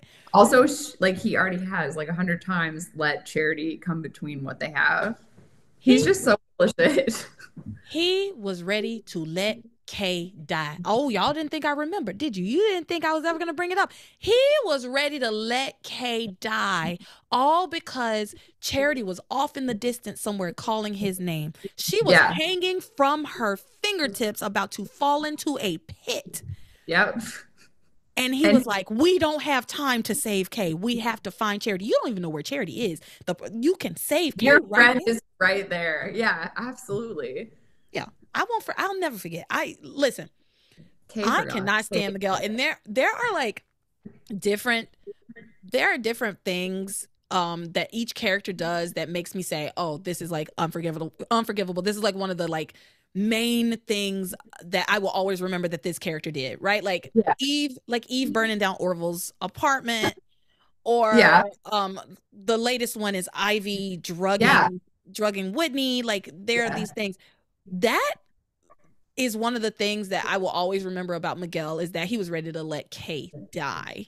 Especially because he evokes their strong bond and like how much they love each other so frequently, but it's only when it's convenient for Miguel, really. Yeah, he sucks. And yeah. so he um oh god, he sucks so much. Later on he does some shit that also sucks in the Theresa storyline. He is so neglectful with Theresa. we'll talk about that though in a second. Yeah, we will talk about it. So because we're actually getting to that portion of the show. Um, so yeah, Kay, he tells Kay, "She'll, I'll never let charity come between what you and I have." And so Kay is actually, you know, this lifts her spirit, and then she rethinks telling him the truth. And he says, "I'll always be here for you." And um, he says, "In fact." I don't think I've ever felt as close to you as I do right now. Not even the time when you kissed her, those times when you kissed her with yeah. tongue. Yes, we remember Miguel. But the she loves, remembers.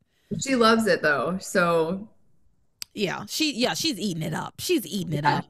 Yeah. This girl really needs some some therapy. So she needs to grow some self-worth and self-esteem. Um, yeah. so she yes, she's eating it up. She's so happy she decides not to tell the truth. And honestly, I can't blame her for it. He she's gotten what she wants. Yeah. Yeah. So at this point, Kay and Miguel go for a walk, right? And um, they talk about charity and miguel does say you know with all the things that have been happening with all the couples with my brother and sheridan with theresa and ethan yeah. now me and charity i do think maybe some evil has come to harmony so you know yeah. there's one for miguel mm-hmm.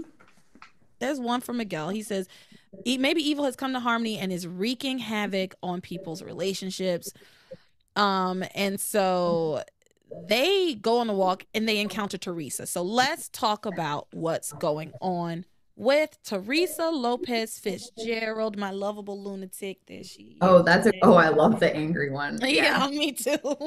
The the Theresa stuff was like hard to watch. She, it was so pathetic. Oh, I cried. Did you? Mhm. I did not feel that way at all. I felt like it was so. No, like, I you know what? I cried, but I've had a lot of like people die recently, right? So and Okay. and and so I, there I will talk about it when we get there, but sh I I did I did tear up, I did cry. N- later on in the week it's like ridiculous, but the early the stuff like when she hug she and Miguel hug each other, yeah, that's when I I was like cuz I knew what was happening, you know? Yeah. I'm actually did- tearing up thinking about it again. Oh, okay. Um you mean so, then. and I told myself because I cried during the episodes, and I was like, Tara, you're not gonna cry. You you did it now. You're not gonna do it when you record. It's fine. Um. Okay. So let's talk about what's going on with Theresa. Theresa is standing in her dark living room, ruminating on where things went wrong with Ethan, uh, and the Having- events of their relationship. Say that again. having montages of like them together and yeah. Yeah. It was it reminded me of being like it reminded me of that time period and just like being emo and like listening to music and being like way over the top, being like I don't know. I I did kind of relate. Listen, there was a day that I remember so clearly in my mind where my parents literally thought that I was like they were something was really really really wrong with me because I was blasting Linkin Park in my room Oh, oh my god. in the dark and it was like I've become so numb I can't feel my- you there. Yeah. Oh yeah. Oh yeah. All and they that- really thought something that- was very wrong with me. I could see why. Yeah. That And- kind of music from that time period though was so like it really just made like pain seem so beautiful and yeah. yeah, like a like a noble thing to be experiencing. Yeah.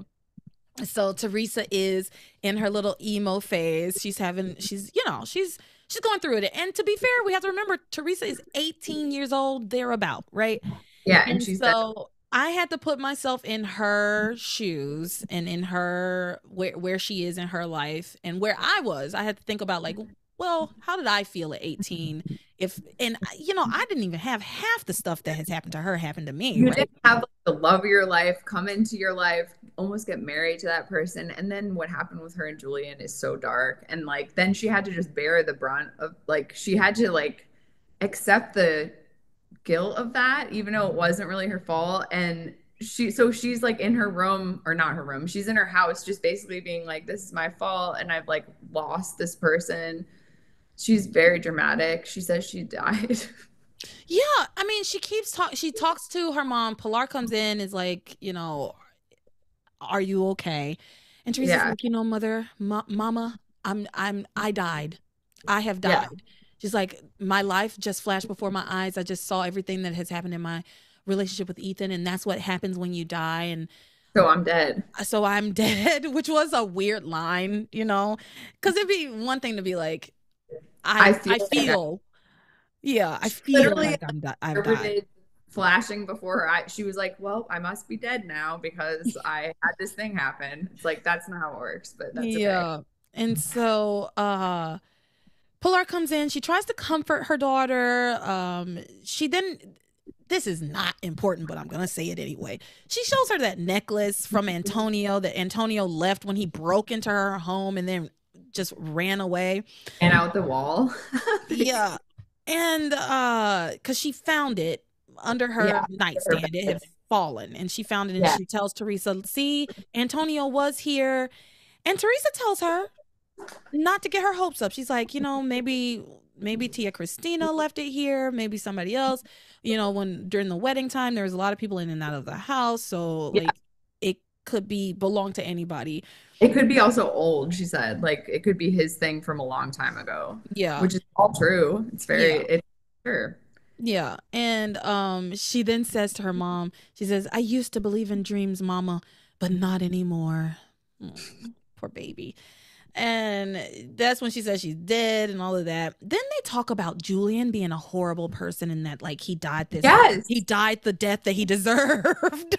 But they were basically, didn't it sound like they were like confessing that they did it? I mean, they play with that with all the characters, but the two of them talking, it legit seemed like they were both like, we killed him. Like that. yeah. Basically they right they say that he died in a justifiable homicide right Yeah, like they like talk about it. They agreed not to talk about exactly how he died, but they were like in on it together. yeah and they say oh, a horrible a horrible death for a horrible man and it's interesting because like how would you know he had a horrible death unless you were there Yeah. right They imply that they did it 100%. Yeah.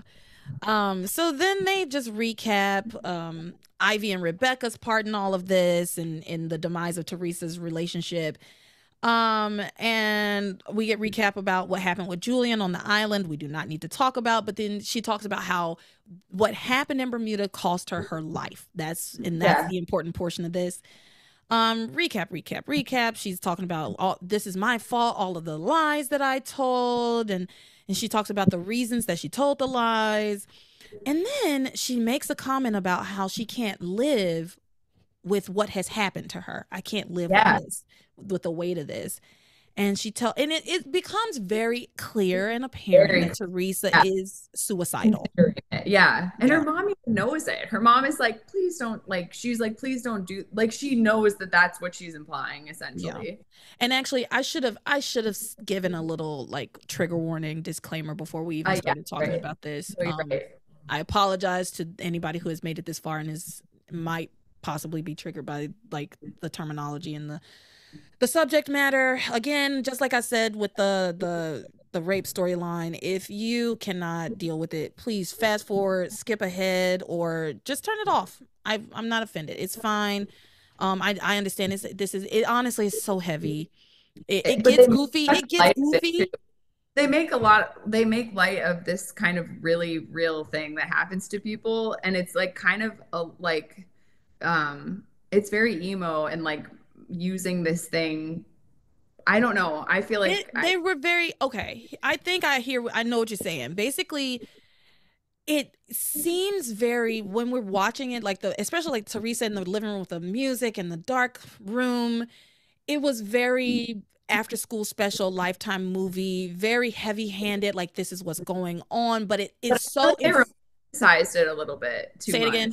I feel like they romanticized it a little too much. Like they made it seem like the right thing to do and like the the noble thing to do uh, for her. Like if she really loved him, this is the only like normal thing for her to do in this situation. And I just think that it was like I don't know, it's just really dark and it made it seem romantic in some weird way. to me i i do see like how how you could pick that up that it that it was almost romanticized it did seem like it was like from Ter- Theresa that's what Theresa does right she romanticizes things she does that's kind of like her Like on the shtick. motorcycle, it reminded me of her on the motorcycle. Yeah, that's like her whole shtick. I- Me, like the way I felt about the treatment of the the of suicide as a as a subject matter, I didn't like it because I actually felt like it was almost too flippant. I felt like it was almost too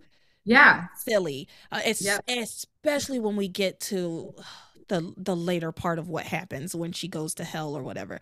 It was Yeah. just to me, it was just way too jokey, too Yeah, it's campy. The whole thing in hell was beyond like silly, and it, it's like it also really demonized her. I know it literally demonized her, but it, it's like it really played into that. And they a, a couple times said like, "Oh, like for her religion, this is what it is." But it really like she was down there with like Nazis and stuff, and it's like she was hurting and she was a teenage kid. It's just like, yeah, I feel like it was very campy. 100% I agree. I was disgusted and we will talk about it in a second. So Theresa uh she's she's feeling hopeless, right? Yeah, Um Pilar tries to you know comfort her daughter. She tells her, you know, you have so much to mm-hmm. live for. You have your whole life ahead of you. I'm going to go make us some hot chocolate. We'll I'll be mm-hmm. right back and we'll and we can sit down and we can talk some mm-hmm. more. You you know, I love you. And when Pilar leaves, Theresa gives her the slip, right? She's like, I'm sorry, mama, I gotta go. And Yeah. she leaves the house and she says there's nothing left for her now that she's lost Ethan. She has no hope and she has no reason to live. yeah. And so uh Theresa goes to the wharf. And this is when she and M- Miguel have a little Um, I can't even it. believe Miguel's like he basically like he recognizes what's happening and then she's like it's okay actually and he's like okay and then she like says goodbye forever and he's like take care like he doesn't like I, it was understand and then he doesn't understand yeah. even though it's really obvious what was happening he drives me crazy. So Theresa, Theresa is down at the wharf. She is contemplating jumping into the ocean. Let's be clear. Yeah. It's the middle of winter, right? It's like February at this point. yeah. So she she's contemplating jumping in. She gives all her reasons. She's hopeless. E- Ethan, she's lost Ethan forever. She has no reason to live on, go on. Yeah. Um, I imagine the pregnancy has something Oh, to do yeah. with it too, right? of course yeah And um, so she starts, she climbs up onto the railing. She's Yeah. standing on the railing. yeah And that's when Kay and Miguel walk by, and Miguel's like, Theresa, what are you doing up there? What are you doing? Get She's down, like, girl. on the bow of the Titanic, and she's like, "I'm I lost my scarf," and he's like, "Well, it looks like it's gone." It's like, yeah, like Yeah. that's it's not what she was looking for. He's so dopey. He's so stupid. So he pulls her down. He gets her down. He's like, "Oh, you need to be careful because this time of the year the current is really strong, and anybody who falls in is going to be dragged out to sea." Right. Um, and then they have like a really like sweet. tou- I thought it was sweet too. I did Thi- think it was. yeah, it was sweet. This is this was the moment where I was because I know we all know what Theresa's What about to do. And then Miguel is none the wiser. Sibling kind of like so it's like and she was a like a big sister moment like which I hadn't seen before with her checking in on Charity and how he was doing. hmm Yeah, I hear you. And I think the reason why this one touched me so much and made me so like sad is because even though Miguel's being an idiot and he's dopey and he's thick headed, that's who Miguel is, right? Yeah. And she loves her brother. And we as an audience know exactly what's about to happen. Like we all know, or we believe that we know that Theresa's about to, she was about to do it. Like she was going to do it. And in this moment, she could have decided, you know what? I, n- no, you know, I'm not going to do it. Yeah. But the way she hugs Miguel and tells him, you know, I love you, goodbye, is like when she says it, you know, you know Yeah. what she's about to do. And into it. yeah, You know she loves him or whatever. It's like she's already saying goodbye to her. Shit, don't want to make you cry. I'm so sorry. it's, I no, it's it, it. It's just like, I'm sorry, I'm sorry, I'm sorry. I just, I cry all the time. Please don't feel sorry. I hear you. I I'm so sorry. this really just hit so it just hit home for me because like i remember the last time i i hugged my brother and it was i think i think about it all the time. I did i had like i had no clue. And Miguel had no clue that that was what was happening with Theresa too. yeah and so i think that's why this this really this really really really hit home for me this week. And um and i also why i got so i really got really upset with the way they treated theresa after Yeah. she jumps in the water so let's move on because i'm i like Right. You don't want to sit Oh. on it. um okay so Yeah. she hugs him she tells him i love you goodbye and he and kay you know flit off to other places right they're walking around Yeah. the wharf talking more about charity so Yeah. she she jumps in that's uh, all i have to say about it she jumps in and it was horrible to watch i didn't care for it at all and Yeah. um, she jumps in and she starts to to to hear a voice um as she's struggling in the water she hears this voice calling out to her theresa theresa come to me theresa. And it's julian's voice. We can hear that Yeah. julian's voice. And then she sinks under the water and she gets transported to hell okay? Y'all she gets transported to hell. And like i think you said earlier that they keep making uh comments because pilar once she goes back to the living room and sees that theresa's gone talking about it. She's like, "This is a mortal sin. You're gonna burn for all eternity." Like it's so dark, and it's like such a whatever. And it's such a fucking crazy thing to think. It's a crazy thing to say. For as a as a Yeah. As when your kid, when your daughter just did that, it's like instead of being like Theresa, like she was like, oh no, like technically this is a mortal sin, and like your afterlife will be tarnished or something. Yeah, and it's like I get it that y'all are religious or whatever. Yeah, but, but it wasn't human. It wasn't a human thing. It's not a human thing at all. That's I I would I yeah, it's it was gross. It to me is so gross. It was just a, the treatment of it is so gross.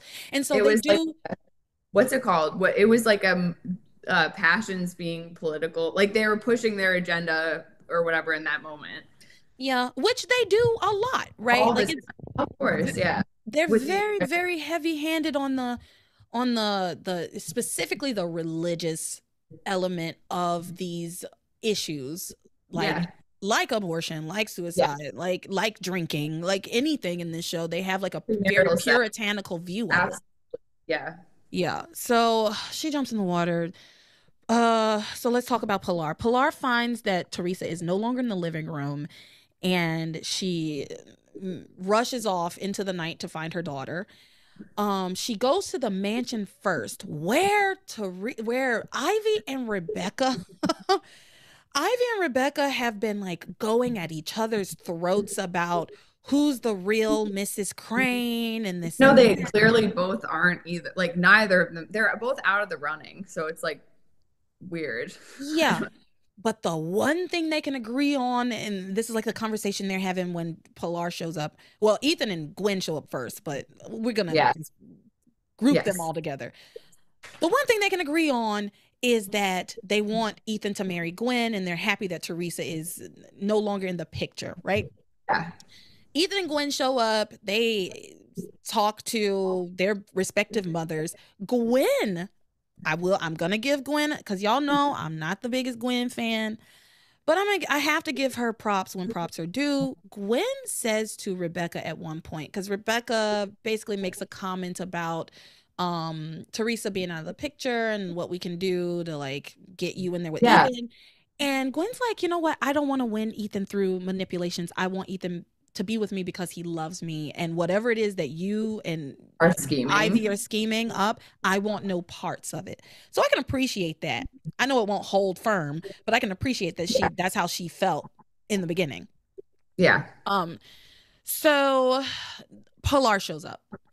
She's frantic. She's looking for her daughter. She says has have any of you seen her like why would she be here? Which i also thought i was like why would why would she go to the mansion of all places? It, i feel like it played into the whole like uh basically like thing to get ethan there. It, it, the whole like she went there to let ethan know. I don't think this is like what she consciously did but she basically went there to tell ethan theresa has jumped into the water and then he has to go save her and basically go back on what his not true feelings, but like basically he was not going to be with her. But then this kind of changed things. It forced his hand in yeah. being back there a little bit.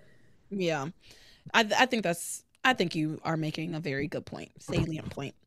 Um, so she she does she tells them what's going on that she thinks Theresa might be trying to take her own life, and Ethan tries to call her Everybody's trying to call her. She's not answering the phone. So Pilar, Gwen, and Ethan all go out into the night to search for Theresa. When they leave, Ivy says, Well, if Theresa does kill herself, it'll be one less problem both of us have to deal with. Mm-hmm. And they both are like like cackling about that shit. Like they bond over that. yeah. Like Rebecca says, You and I agree on something. And she says, If Theresa and her baby die, there'll be one, there'll be mm. two Mrs. Cranes left. There'll only be two Mrs. Cranes left.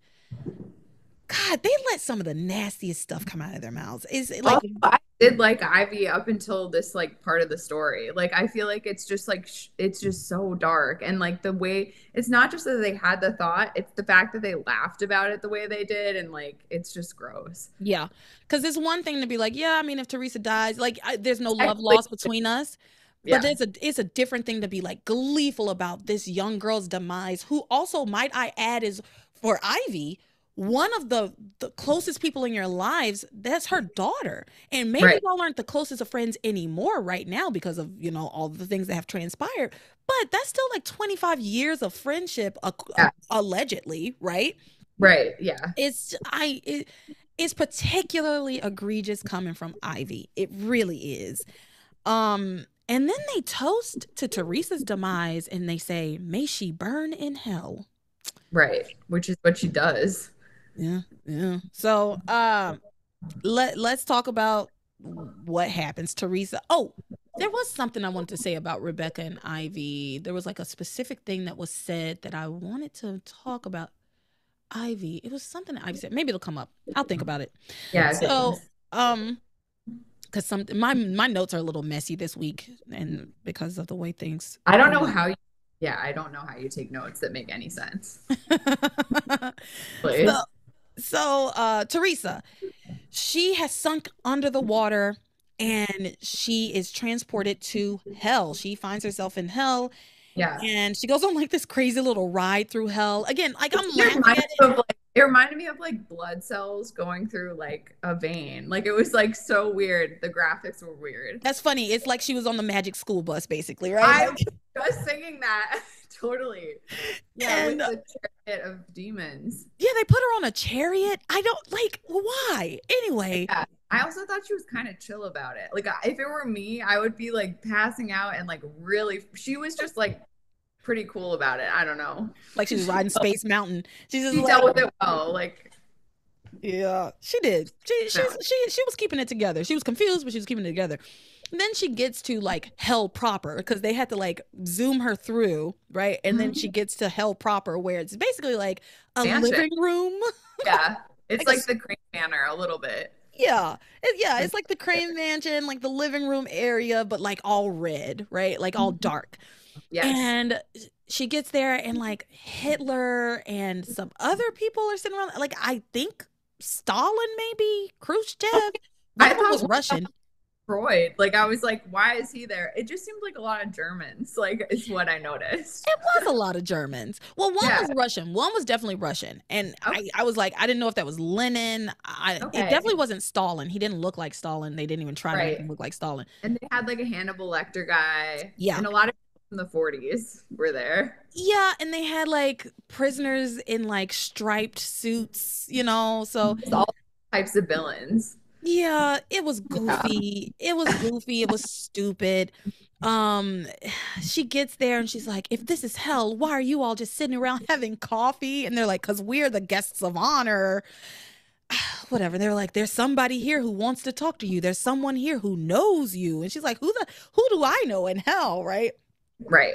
And then the devil himself comes out and she's like, I don't know the devil. I don't know him. I don't know him. And then he morphs into Julian. I, I, You know, it's crazy because I was just crying. And again, that's what this show does to me. Like it, I, I got Yeah. emotional, and then I, and then I kept watching, and it was like this nonsense, and I was like, in honestly, at yeah. points I was enraged at how ridiculous it was, but also it's like so stupid. You have to laugh. It's so stupid. yeah. Also, yes. mm-hmm. Uh, we also know Julian isn't dead, so we knew the whole time that was like a mirage Julian or whatever, and um, I guess was zombie charity, not to like Yeah, we'll go ahead and say it is zombie charity, like which was a fun little twist. It made sense. Yeah, um, yeah, it was a it's a fun way to kind of rope her into the other things that are happening in the in the town, right? Yeah.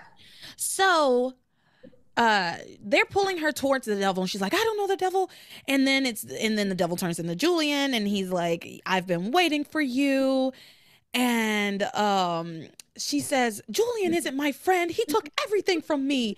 And then Hitler starts laughing. He's like, Don't you know that's what friends are for? Doing. Sure.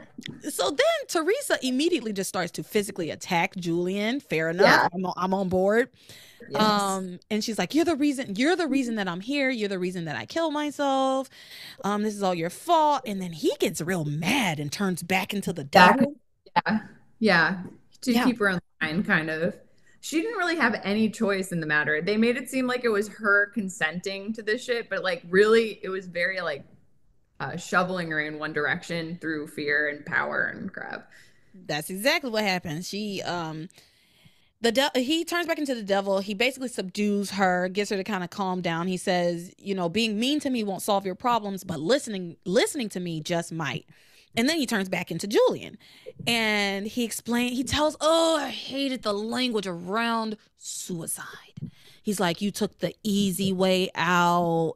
Yeah. Like, and Yeah. like it. Oh my god, it it really upset me. It upsets me anytime because I remember growing up with that kind of rhetoric. I don't know. I I, I grew up in the South, so it's like every everybody's a Christian, and and it it is that kind of Christianity, like the fire and brimstone. Mm-hmm. Like you don't question, mm-hmm. and like suicide is a mortal sin, and you No will burn in hell for all For, like, eternity. depression and like people that are going suffering to that degree. There's no sympathy basically. If you choose that, you're like outcasted and yeah. and the and so that terminology of like that's the easy way out it's like that's probably the hardest way to go i mean really, yeah. How is that the easy way out? It's like, yeah, that's so fun. Well, Yeah. passion look fun, but yeah. it's ridiculous um so he tells her that she gave up too soon and that she could have had ethan uh but now she blew it and she's gonna have to spend all eternity in hell and she says well ethan said he would never get back with me what could i have done i mean you could have not killed yourself let's be clear Yeah. over Ethan. Let me be clear. Do, do I have sympathy for Theresa? Absolutely. Like just but when I think about the reason, like the reason she threw herself into the ocean and that that reason was Ethan, it does throw me a little bit.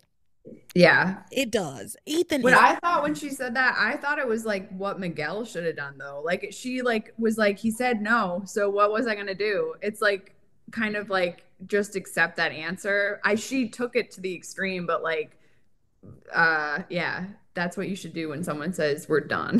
Basically, that is what you should do when someone it. says you're done. And she, but yeah, you're right. Theresa did take it to the extreme for sure. Um, and so uh she says, What could I do? He said he never wanted to be with me. And the devil responds with, You should have fought like a crane.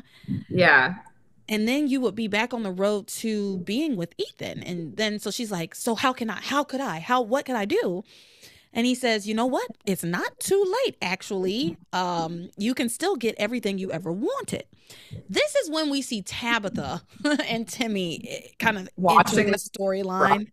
yeah, Yeah, they're watching it through the on that rock or like a ice piece of ice or something. it's like And- a crystal. Yeah, and uh Tabitha is ex- explains to us that uh, the forces of darkness are using Julian to hatch a plan to bring Theresa back to life so that she can pursue Ethan, and that her pursuit of Ethan will bring more pain and chaos to Harmony than they've ever seen before. Yeah, like Theresa's the Antichrist or something. And y'all, I want to be clear. I do not remember this from my first watch around. Like, I did not remember that she did this. I didn't remember she went to hell. N- none of it. And Back from the dead after signing a contract. yeah, and it makes me it makes me wonder.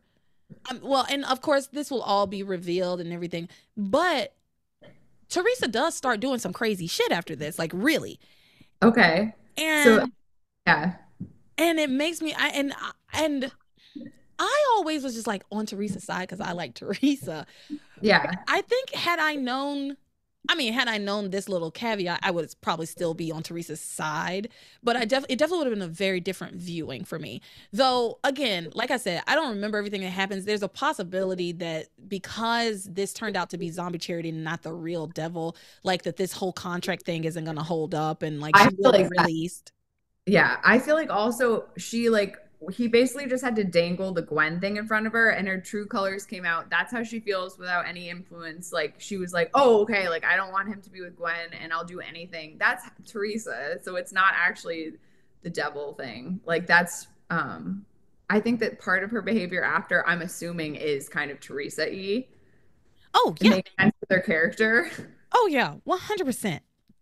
Um, so he explains, you know, you gotta, you're gonna have to uh, follow my plan. I got a plan for you, girlie. And uh, the the devil tells her, you can get Ethan back if you follow this this this quick little plan. Here, here, here it is. And he whispers something in Theresa, uh, Theresa's ear, and uh, she she's like, I can't do that.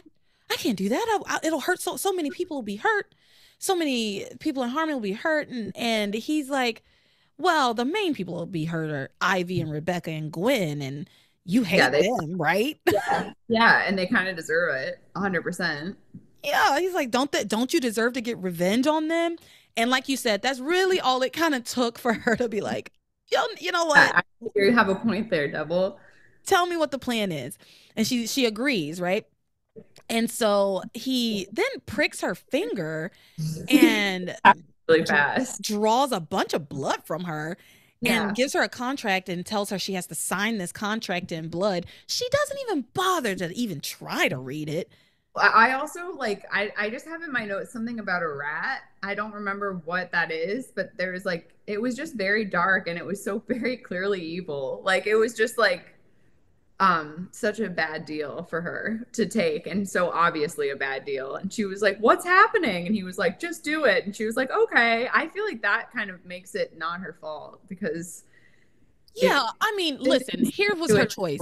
It definitely wasn't yeah. her fault. Let me be yeah, clear. go to hell forever or do this and get out of hell. Yeah. yeah. Theresa, it definitely was not Theresa's fault because she, first of all, yeah, the choice was either you stay in hell for absolute ever, forever and ever in perpetuity, or, or you can go back to life and have Ethan. Yeah. Yeah. It's an easy choice, right? Yeah. I, like, I'm not choosing hell. I, ugh, I don't know. It depends on what he had said to me about like what I had to do, but I you have to assume it involved her family though too. Like it had to have, have been. It would have involved Luis, Sheridan, her mom, like everyone. It wasn't just those three women that she hates, but right. that was the selling point for her, I guess, was. Yeah. So um Tabitha, Tabitha and Timmy are like watching all this from their cave and I this was my favorite line is probably gonna be the the episode title after Theresa signs the contract, Tabitha says Theresa Lopez Fitzgerald is about to send all of Harmony straight to hell. A good one. It's great. Yeah. Um. So she signs the contract with Devil Julian, and uh, t- he he has something else to tell her she has to do. He whispers it in her ear. Um, we can't hear it. She says, "I won't do it. I won't do it. I'm not gonna do it." Um, I, I don't want to get, she says, I don't want to get Ethan back through lies and manipulation. I want a relationship with him based on honesty and the truth. Uh, and then he's like, Well, this hell ain't no fairy tale, honey. You if you, you either go back and do what I tell you to do or you stay here forever. Yeah. Um, and she says she can't be a part of anything so evil. Too many people will be hurt. Uh, with the second part, both parts, she was against it, and yeah, yeah. Mm-hmm. Um, but yeah, eventually he she she decides I'll go back. I'll I'll do whatever you say. Oh, I know what it is. So what? Ethan and Ethan is in the water. Okay, I, we I skipped over this and I didn't mean to. Uh, Ethan finds Ethan, Pilar, and Gwen come across Miguel and um Kay and they ask them, "Have y'all seen? Have you seen Theresa?" and explain to them what's going on. And Miguel's like, "No, Theresa's fine. I literally just saw her. Like Theresa would never do something like that. I just saw her." And they're like, "Where did you I see saw her? her?" Like on the wharf, like jumping into the water. She would never right. do that. Right. And so he leads them back to the spot where he saw Theresa, but she's not there, right? And Ethan's like Ethan says, "Are you sure this is where you saw her?" Which, to be fair, would irritate me too if if he had said that to me, like, "Are you sure this is where you saw her?" It's like, "Yes, she's my." That's why I brought you here. Yeah. Yeah. Um, and Just Miguel happened. says Miguel snaps at Ethan, and it's like, "Why are you even? Why are you even here? Why don't you just leave and let Mama, me and Mama look for her? Because if you hadn't broken up with her, we wouldn't even be in this situation." It's like Miguel here's the thing. I appreciate the loyalty. That's and that's what I wrote in my my. Um, I just um, like being mean to um Ethan. Like to, yeah, like yeah, yeah. I appreciate the loyalty, but he's so off on it. Like yeah. he, Theresa was wrong, right? And like if Charity had, well, and you know what? I actually, you know what? I'm having a moment where I'm having a, a realization that if Charity had done all of those things, Miguel still would want to be with her. Yeah. So to him, to him is like you, yeah. you should have because he says he calls him selfish he says um you you broke it we wouldn't be in this position if you hadn't broken up with her and he says if you weren't so selfish and if you had been a little more understanding maybe we wouldn't even be looking for theresa and yeah he calls him selfish but it's because miguel believes in this like idea of obsessive love but again he's like 16 right Yeah. Yes. so he doesn't know what he's talking about um so then this couple of ladies show up and they ask them have you seen this girl? Give them they give them the description and they're like we just called 911 and say we saw a girl fitting that description jump into the water. Ethan doesn't miss a beat. He jumps right in like a dolphin. Like he just Yeah. dives right in. He doesn't think twice and it is at this i mean there's been several moments in the show where gwen should have just like been like you know what i'm never gonna have ethan right Yeah. but this is definitely another one of those moments where it's like girl he clearly is He's down to insanely die for her in a heartbeat. I mean, he didn't think about it. He just jumped right into that freezing cold water to get her. Ethan also did like a whole Miguel thing with her, like when they were together right before this. Like he was like, "You're such a good friend, Gwen." Like he did that whole thing where it was like he clearly has this one person in, that he's into. It's not really a, a triangle. It's just him and her, and then the one that wants him Yeah. really bad. Yeah, and all the men jump in right after Theresa. Really. Yeah. Well, Ethan jumps in and Yeah. then like Sam and Sam and somebody else show up and Miguel then jumps into the water and then Sam jumps into the water and it's Sam like jumps- I it's like so stupid. It's like, yeah, like your fucking son and Sam are gonna like it's like, yes. I just don't know why she doesn't see that. the way Ivy was so upset when she got the phone call that like um Ethan had jumped into the water and she's like, "Oh, Theresa, this is all her fault." It, like I mean, you uh, do you not see your part in all of this, Yes. Ivy? Some responsibility, hundred percent. She she it's like she sees no nothing of her part in any of it. And it it, it does drive me a little crazy. She just And I- seemed more multidimensional than that. Like Rebecca seems very like cardboard, like that's her. But Ivy, I feel like seems smarter. Well, she's not. She doesn't seem smart anymore. But yeah, she did. used to be more interesting, more conflicted Yeah. you know, Yeah. more human. And now it's like almost just like turning into a supervillain. hundred percent. And uh, and it's not interesting. And it's not interesting. There's nothing interesting about it, Yeah. you know. Um and so they jump into the water after Theresa. They're all Oh my gosh. I actually when they jumped into the water I was like, "Yes, we're using the water set again." Passions I was gonna say that. They're getting their money out of this water set again. Passions Yeah. must have spent so much money on that cuz they use it a lot. And as they Yeah. should, as they should, but we literally just did the Bermuda stuff. Yeah, And- they're in the- water every other episode. Yeah, um, but they're getting they're getting their use out of that out of that set. NBC was like, "You asked for it, you better fucking use it." You own it now. Yeah, exactly. Um, so they uh they they jump in the water, and then there's the EMTs and all of them show up, and then finally some divers show up. Ethan actually is the one who finds Theresa and pulls her out of the water. Um, pulls her out of the water, gets her up to gets her up on shore. The EMT takes exactly one look at this little girl and says, It's too late. Yeah. Just like she's dead, there's no pulse. He he's worse than Eve, honestly. He, he, he they did not do anything for her. In fact, in fact, Ethan starts performing CPR on her. And there's all of these these EMTs uh, They uh also asked the EMTs, they were like, how long would it take for this to like her to die? And they're like, who knows? It could be hours, it could be a couple minutes. It's just like, okay. yeah. They're just not that bright. They don't know anything. Like I've like I've said a million times, everybody in this town is bad at their job. Everybody in this town is bad at their job.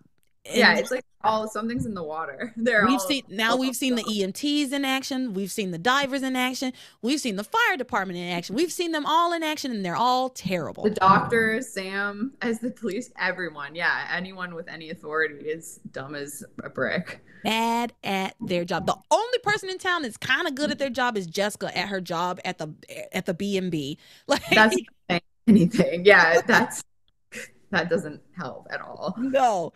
Okay, so he pulls her up, and the EMT says it's too late. Uh, she doesn't have a pulse. Ethan does CPR on her. Meanwhile, in hell, there's an alarm starting to go off. Yeah, Yeah. times ten. Yeah, Yeah, time's a ticking, girl. Julian, as the devil, tells her, uh, Yeah. "You have to choose. You need to choose now. Are you because your body is nearly um at the point where it can't be revived." yeah. And so she finally says, "I'll do it." Yes, and so they get her rushed on out of hell the same way she came in, back on that chariot and back up the anus of hell. I like. Totally. and then her dark spirit settles into her body. Didn't didn't they say like they were like, why is it getting dark all of a sudden or something Yeah, like that? Gwen's Every- like, why is it so dark now? I was like, I it was dark it. outside. I didn't notice it even as a viewer. I was like, it didn't get dark, but whatever. And then her she settles back in her body and she's there. Yeah. And she wakes up. They do not take her to the hospital. She was dead. not. She would be talking about brain dead. She would have like um lost a lot of oxygen and like yeah. This girl was actually dead. They She was said at she didn't have bottom a of the water for like many minutes, for at least many minutes, if not like an hour. I feel like she was there for a long time. They gave her a blanket. like, here's some hot cocoa. They gave her a blanket. So um she comes to, she sees Ethan and uh well, but before that, uh the reason why Theresa decided yes is because Julian Devil showed her a vision of Ethan giving her CPR, asking her to come back to life. So Yeah. in that moment, she was she made a firm decision. She was like, "He does love me. He loves me. I'll go back." Yeah. Mm, She gets back, okay, and uh is transported back out of hell. And she says to him, the first thing she says when she opens her eyes is, "Ethan, I came back to be with you." And he looks at her and he says, "Theresa, nothing has changed." so awkward. Yes. I I felt bad for her. I was like, shit. He says nothing has changed, but Theresa has changed. Like Yeah. there's a clear change in her demeanor. Um, every a couple of people, I think Miguel and I Yeah. both kind of make a note. Notice she's talking weird and stuff. Yeah. Also, she now knows that him saying no to her doesn't actually mean anything. Like sh- her will is like gonna make it happen. It doesn't matter that he's rejecting her. And yeah, she's possessed by the devil a little bit. yeah. It's fun.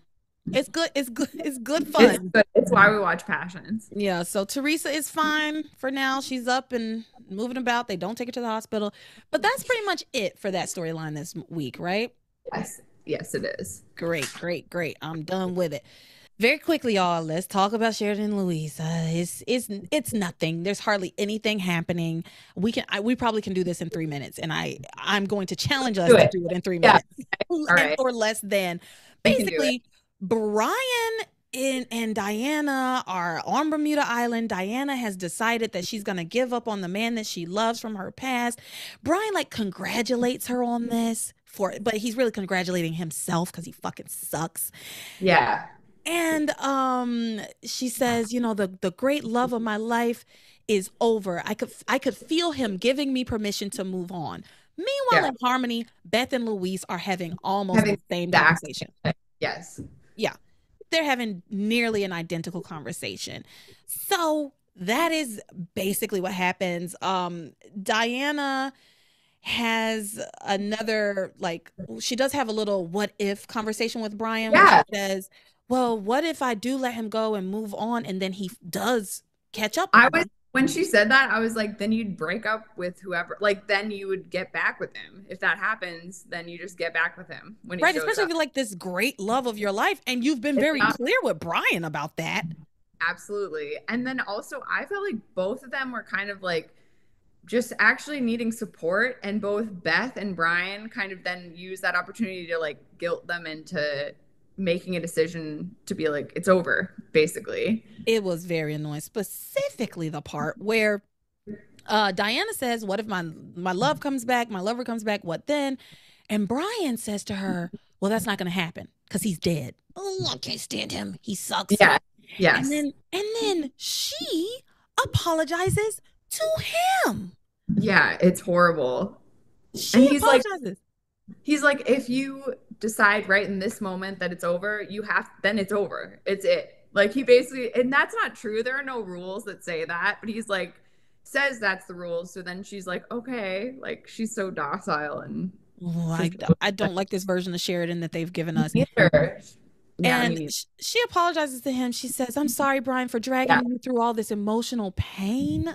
You are the one in emotional pain. He is fine. Yeah. yeah, he just is listening to you and manipulating you, like using your pain against you. It's so annoying. Oh, I can't stand him. And then he's like, it's fine. Seconds. Like it's like she should deal with it however she deals with it. It just happened. Like, I don't know. Yeah. He tells her it's fine, but you have to make a decision and stick to it. And then he tells her it's it's for your own good. Ugh, ugh. Ugh, daddy issues. he, he's so creepy. He is. And then he asks her, Can you do that, Diana? Can you let go of the man that you love? Meanwhile, Beth and Luis are having a conversation, uh, and Beth like brings up the fortune teller stuff, the past live stuff, and then she's like, "It sounds like you and Sheridan have been locked in a cycle of falling in love and then seeing it pa- end painfully. And maybe what you just did, maybe you just released Sheridan You from ended it. painful cycle. Yeah. How did that? How could that possibly end the painful cycle? It doesn't make any sense. It's a theory, but she says she posits it like as if this is she's well versed in like fortune telling shit and past lives. And she's like, maybe I guess you did her a favor. And if you let her go, you're actually being caring in that way. That's like the yeah. Ending the cycle would be we end up together, right? Yeah. Like it doesn't end in the painful way. That It what we just did is the pain is the cycle. And he also doesn't know that it's the end. Both of them are like, is it the end or is it not the end? It doesn't feel like the end for either of them, but then there's people are like, it is the end and this is it. Mm-hmm. Yeah. And then Beth calls him selfish if he doesn't accept her version of what's happening right then. Yes, I was so annoyed. I was so I- it was annoyed. Wouldn't a red flag go off for you if that happened? She says you're selfish. You're not. You're only thinking of yourself. You're not thinking about Sheridan or what Sheridan would want. okay. It seems like that's all he's doing, actually. Yeah, also, as you have said to me too many times, Sheridan is not here. Sheridan Yeah. is dead. So I have to grapple want. with this on my own. yeah. Yeah. Oh, she's so annoying. hmm Um, she tells him if you really wanted to honor Sheridan's memory, then you at least have to try to be happy. And he says, You're right. And she tells him, You know, somewhere out there, there's someone wonderful waiting for you. Somewhere with short hair, there's someone in a horrible leather jacket who might be better for you. She, and uh, yeah, she's obviously talking about herself. Yeah. And um, what I think what really bothered me about this too is that it really has only been a few months since Sheridan died. Yeah. Mm-hmm. and he i personally i think they should everybody her hank her his mother everybody should give him at least a year before they even mention the idea of him quote moving on from sheridan Totally. he has a lot to work through Yeah. He has a lot to work through They make it seem like he's like a. I want to say pussy. He, they make it sound like he's like a big baby if he doesn't immediately get over it. And like, yeah, yeah he's. I poor love him. luis poor luis okay so that's it you That got anything it. to add to that Well, you know what? I have a story. No, can I tell you? a Okay, I have. i would love to hear a story i love it So literally like a week ago, my cousin, the same one that got me into Passions, called me and she works in LA. She's like an assistant of someone who's like a producer. And she ran into this guy in the hall and like they both had, like had like it's like kind of a meet cute, but it wasn't. It was just like whatever. And then after it happened, she realized it was Luis and they had just run into each other. Isn't that oh, crazy? I took it as like a kismet thing that this was like I was going to talk to you. Isn't that crazy? And she said he's still gorgeous. I mean, I follow him on Instagram and he is He gorgeous is on so- Instagram. But I imagine in mm-hmm. person he's something else. Yeah, but that's all. That's the only thing I have to add. Everything else I feel like we've wrapped up perfectly. Well, thank you for adding that. I love that. I love those little stories. Me too. Okay, so let's move on. Let's finish up. We're gonna talk about Sam and Grace and what's going on Oh with my them. god. Oh, I thought that was it. No, Thought we still have to talk about this a little bit. It, it this is how much this is how much notes I have left. This is it. Okay. This all right. it. So, oh um, yeah, wait, of course. Sam and Grace and John. and John, yeah. that uh, was mm, yeah. Oh, I remember. Oh, I just remember what it was that I thought about Ivy earlier today. Yeah. What, I'm I, so I want to say this really quickly as like an Yeah. add-on to the Theresa stuff. Okay, Ivy, because and I forgot it's in this part of my notes for some reason. It's like in the wrong place. Sam Yeah.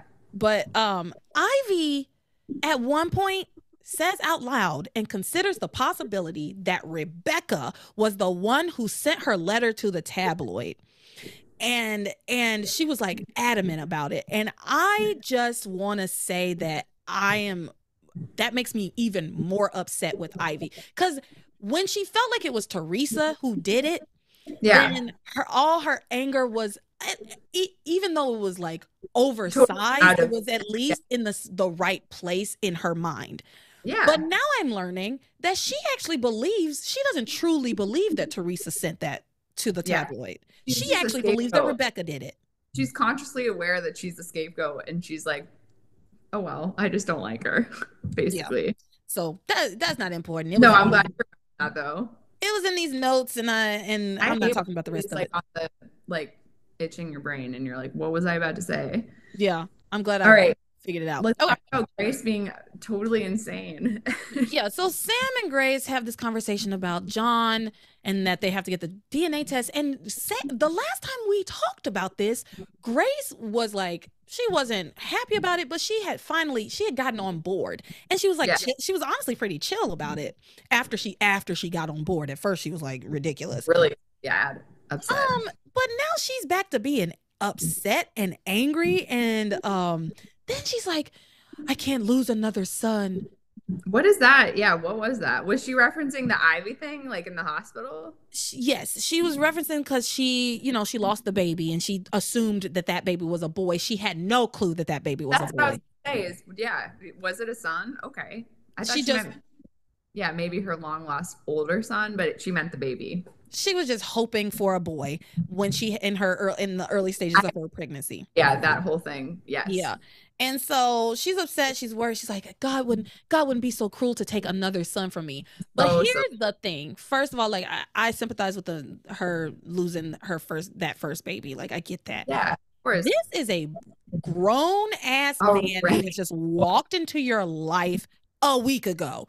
hmm I it can't be it couldn't possibly be that devastating to you. But it is for both of them. Like he acts like that's his mother, and like he's like, "Mom," like I don't know. It's just so weird that the feelings run deep for both of them, more I deep than they should. I think I agree. Like the, the the feelings are way too deep for both of them. But I will say I can for, forgive John a little bit more than I can Grace because on Grace's end, first of all, she has amnesia. She doesn't remember anything, and I get that she wants to like connect to something, but she has she she wasn't missing out on a son, right? She Yeah. has her kids. She didn't know he existed. He, however, knew he had a mother somewhere out there who he Yeah. just wanted to connect with. He just needed to put a person in the in that role. Yeah. So I can so I can understand John a little bit more, especially considering his dad has validated to him that that is his mother. Yeah. And close to his dad. Yeah. Yeah. He really up to him. But Grace, it doesn't make any sense. But anyway, uh John is at the B&B talking about how great his mom is to David. um he also mentions how Charity sexually harassed him at the dance. Yeah. And he's like, "Yeah, everybody's been really nice, but that Charity girl's pretty weird." yeah. That's an understatement. Yeah. Um, and then he thanks his dad for bringing him to Harmony so he could meet his finally meet his mom. And then John's like, we should go over there for some hot chocolate and tomato soup cake. He's like, I we know like how much you love her tomato soup. Was that established that he loved her soup cake? He everybody likes it apparently. I don't know. She he you know what? He loves it because it was lovingly made by his mother and he's never had a mom. And okay. I bet those I bet those daughters are more than happy to let him eat up all the tomato soup cake. Yeah, they're like, please take my portion as well. Yeah, they're like, less for us. We are sick of this shit. Um and so he and David go over to um, Sam and Grace's house um because he david isn't gonna go at first. He's like you know i shouldn't go. And john's like no i like seeing my parents together. I thought that was so annoying too. It's like okay. Yeah he's trying to do the lindsay lohan parent trap. It's not working for me you know? Yeah. he's also not working. lying that they're his parents and what we were just saying like that's he's never seen them together his whole entire life. That's not his mom. Whatever. Yeah so they just let themselves into Grace and Sam's home. While they walk, yeah, yeah, and they walk in in the middle of this conversation about a test, and and John questions like, "What test? What test do I have to take?" And Grace explains the whole Ivy plot situation, and he gets really offended. He's like, "You think we're lying? You think my dad was li- would lie like that? My dad's not like that. He's a great man. He's an honorable man. Don't you trust me and my dad?" Because you know us so well and our characters so well. This is why I was laughing when we brought this up. Is then his dad is like very awkwardly and obviously like turns to the side and is like so awkwardly and so guilty looking. It's yeah. Like, oh. Yeah. So this whole conversation is interrupted by the news of T- Theresa jumping into the ocean. So that's and that is the end that of the week. Cool. That is it. So we made it. That was a I think it was a good episode and I enjoyed the week honestly for the most part. There was some there was some heavy stuff, there was some ridiculous stuff. There, there was some highs and some lows. Yeah. Low lows. Uh, but uh yeah, thank you so much for being here. I'll see you again next week. Yes? You will. I'm very much looking forward to it. All right. This was great. Where can everybody find you online if you want people to follow you? Yeah, I'm on Instagram, Fair Folk Trade, and that's F A I R um, Folk Trade. And yeah, check me out. Follow me. I would love that. She's got a really cool page. A lot of really nice um pictures, it's beautiful pictures. Oriented, so it's like Tabitha esque oriented. Yeah, it's a it's a little witchy, a little like fairies and like yeah, you know, cute things. Yep. Yep. All right. Um. So, and I'll link I'll link that in the description, everybody, so you can check out her page. And as always, you know, you can catch me on the social media here and there. Check the link in my description for the link tree. And uh, with that, that's it. You are my passion for life.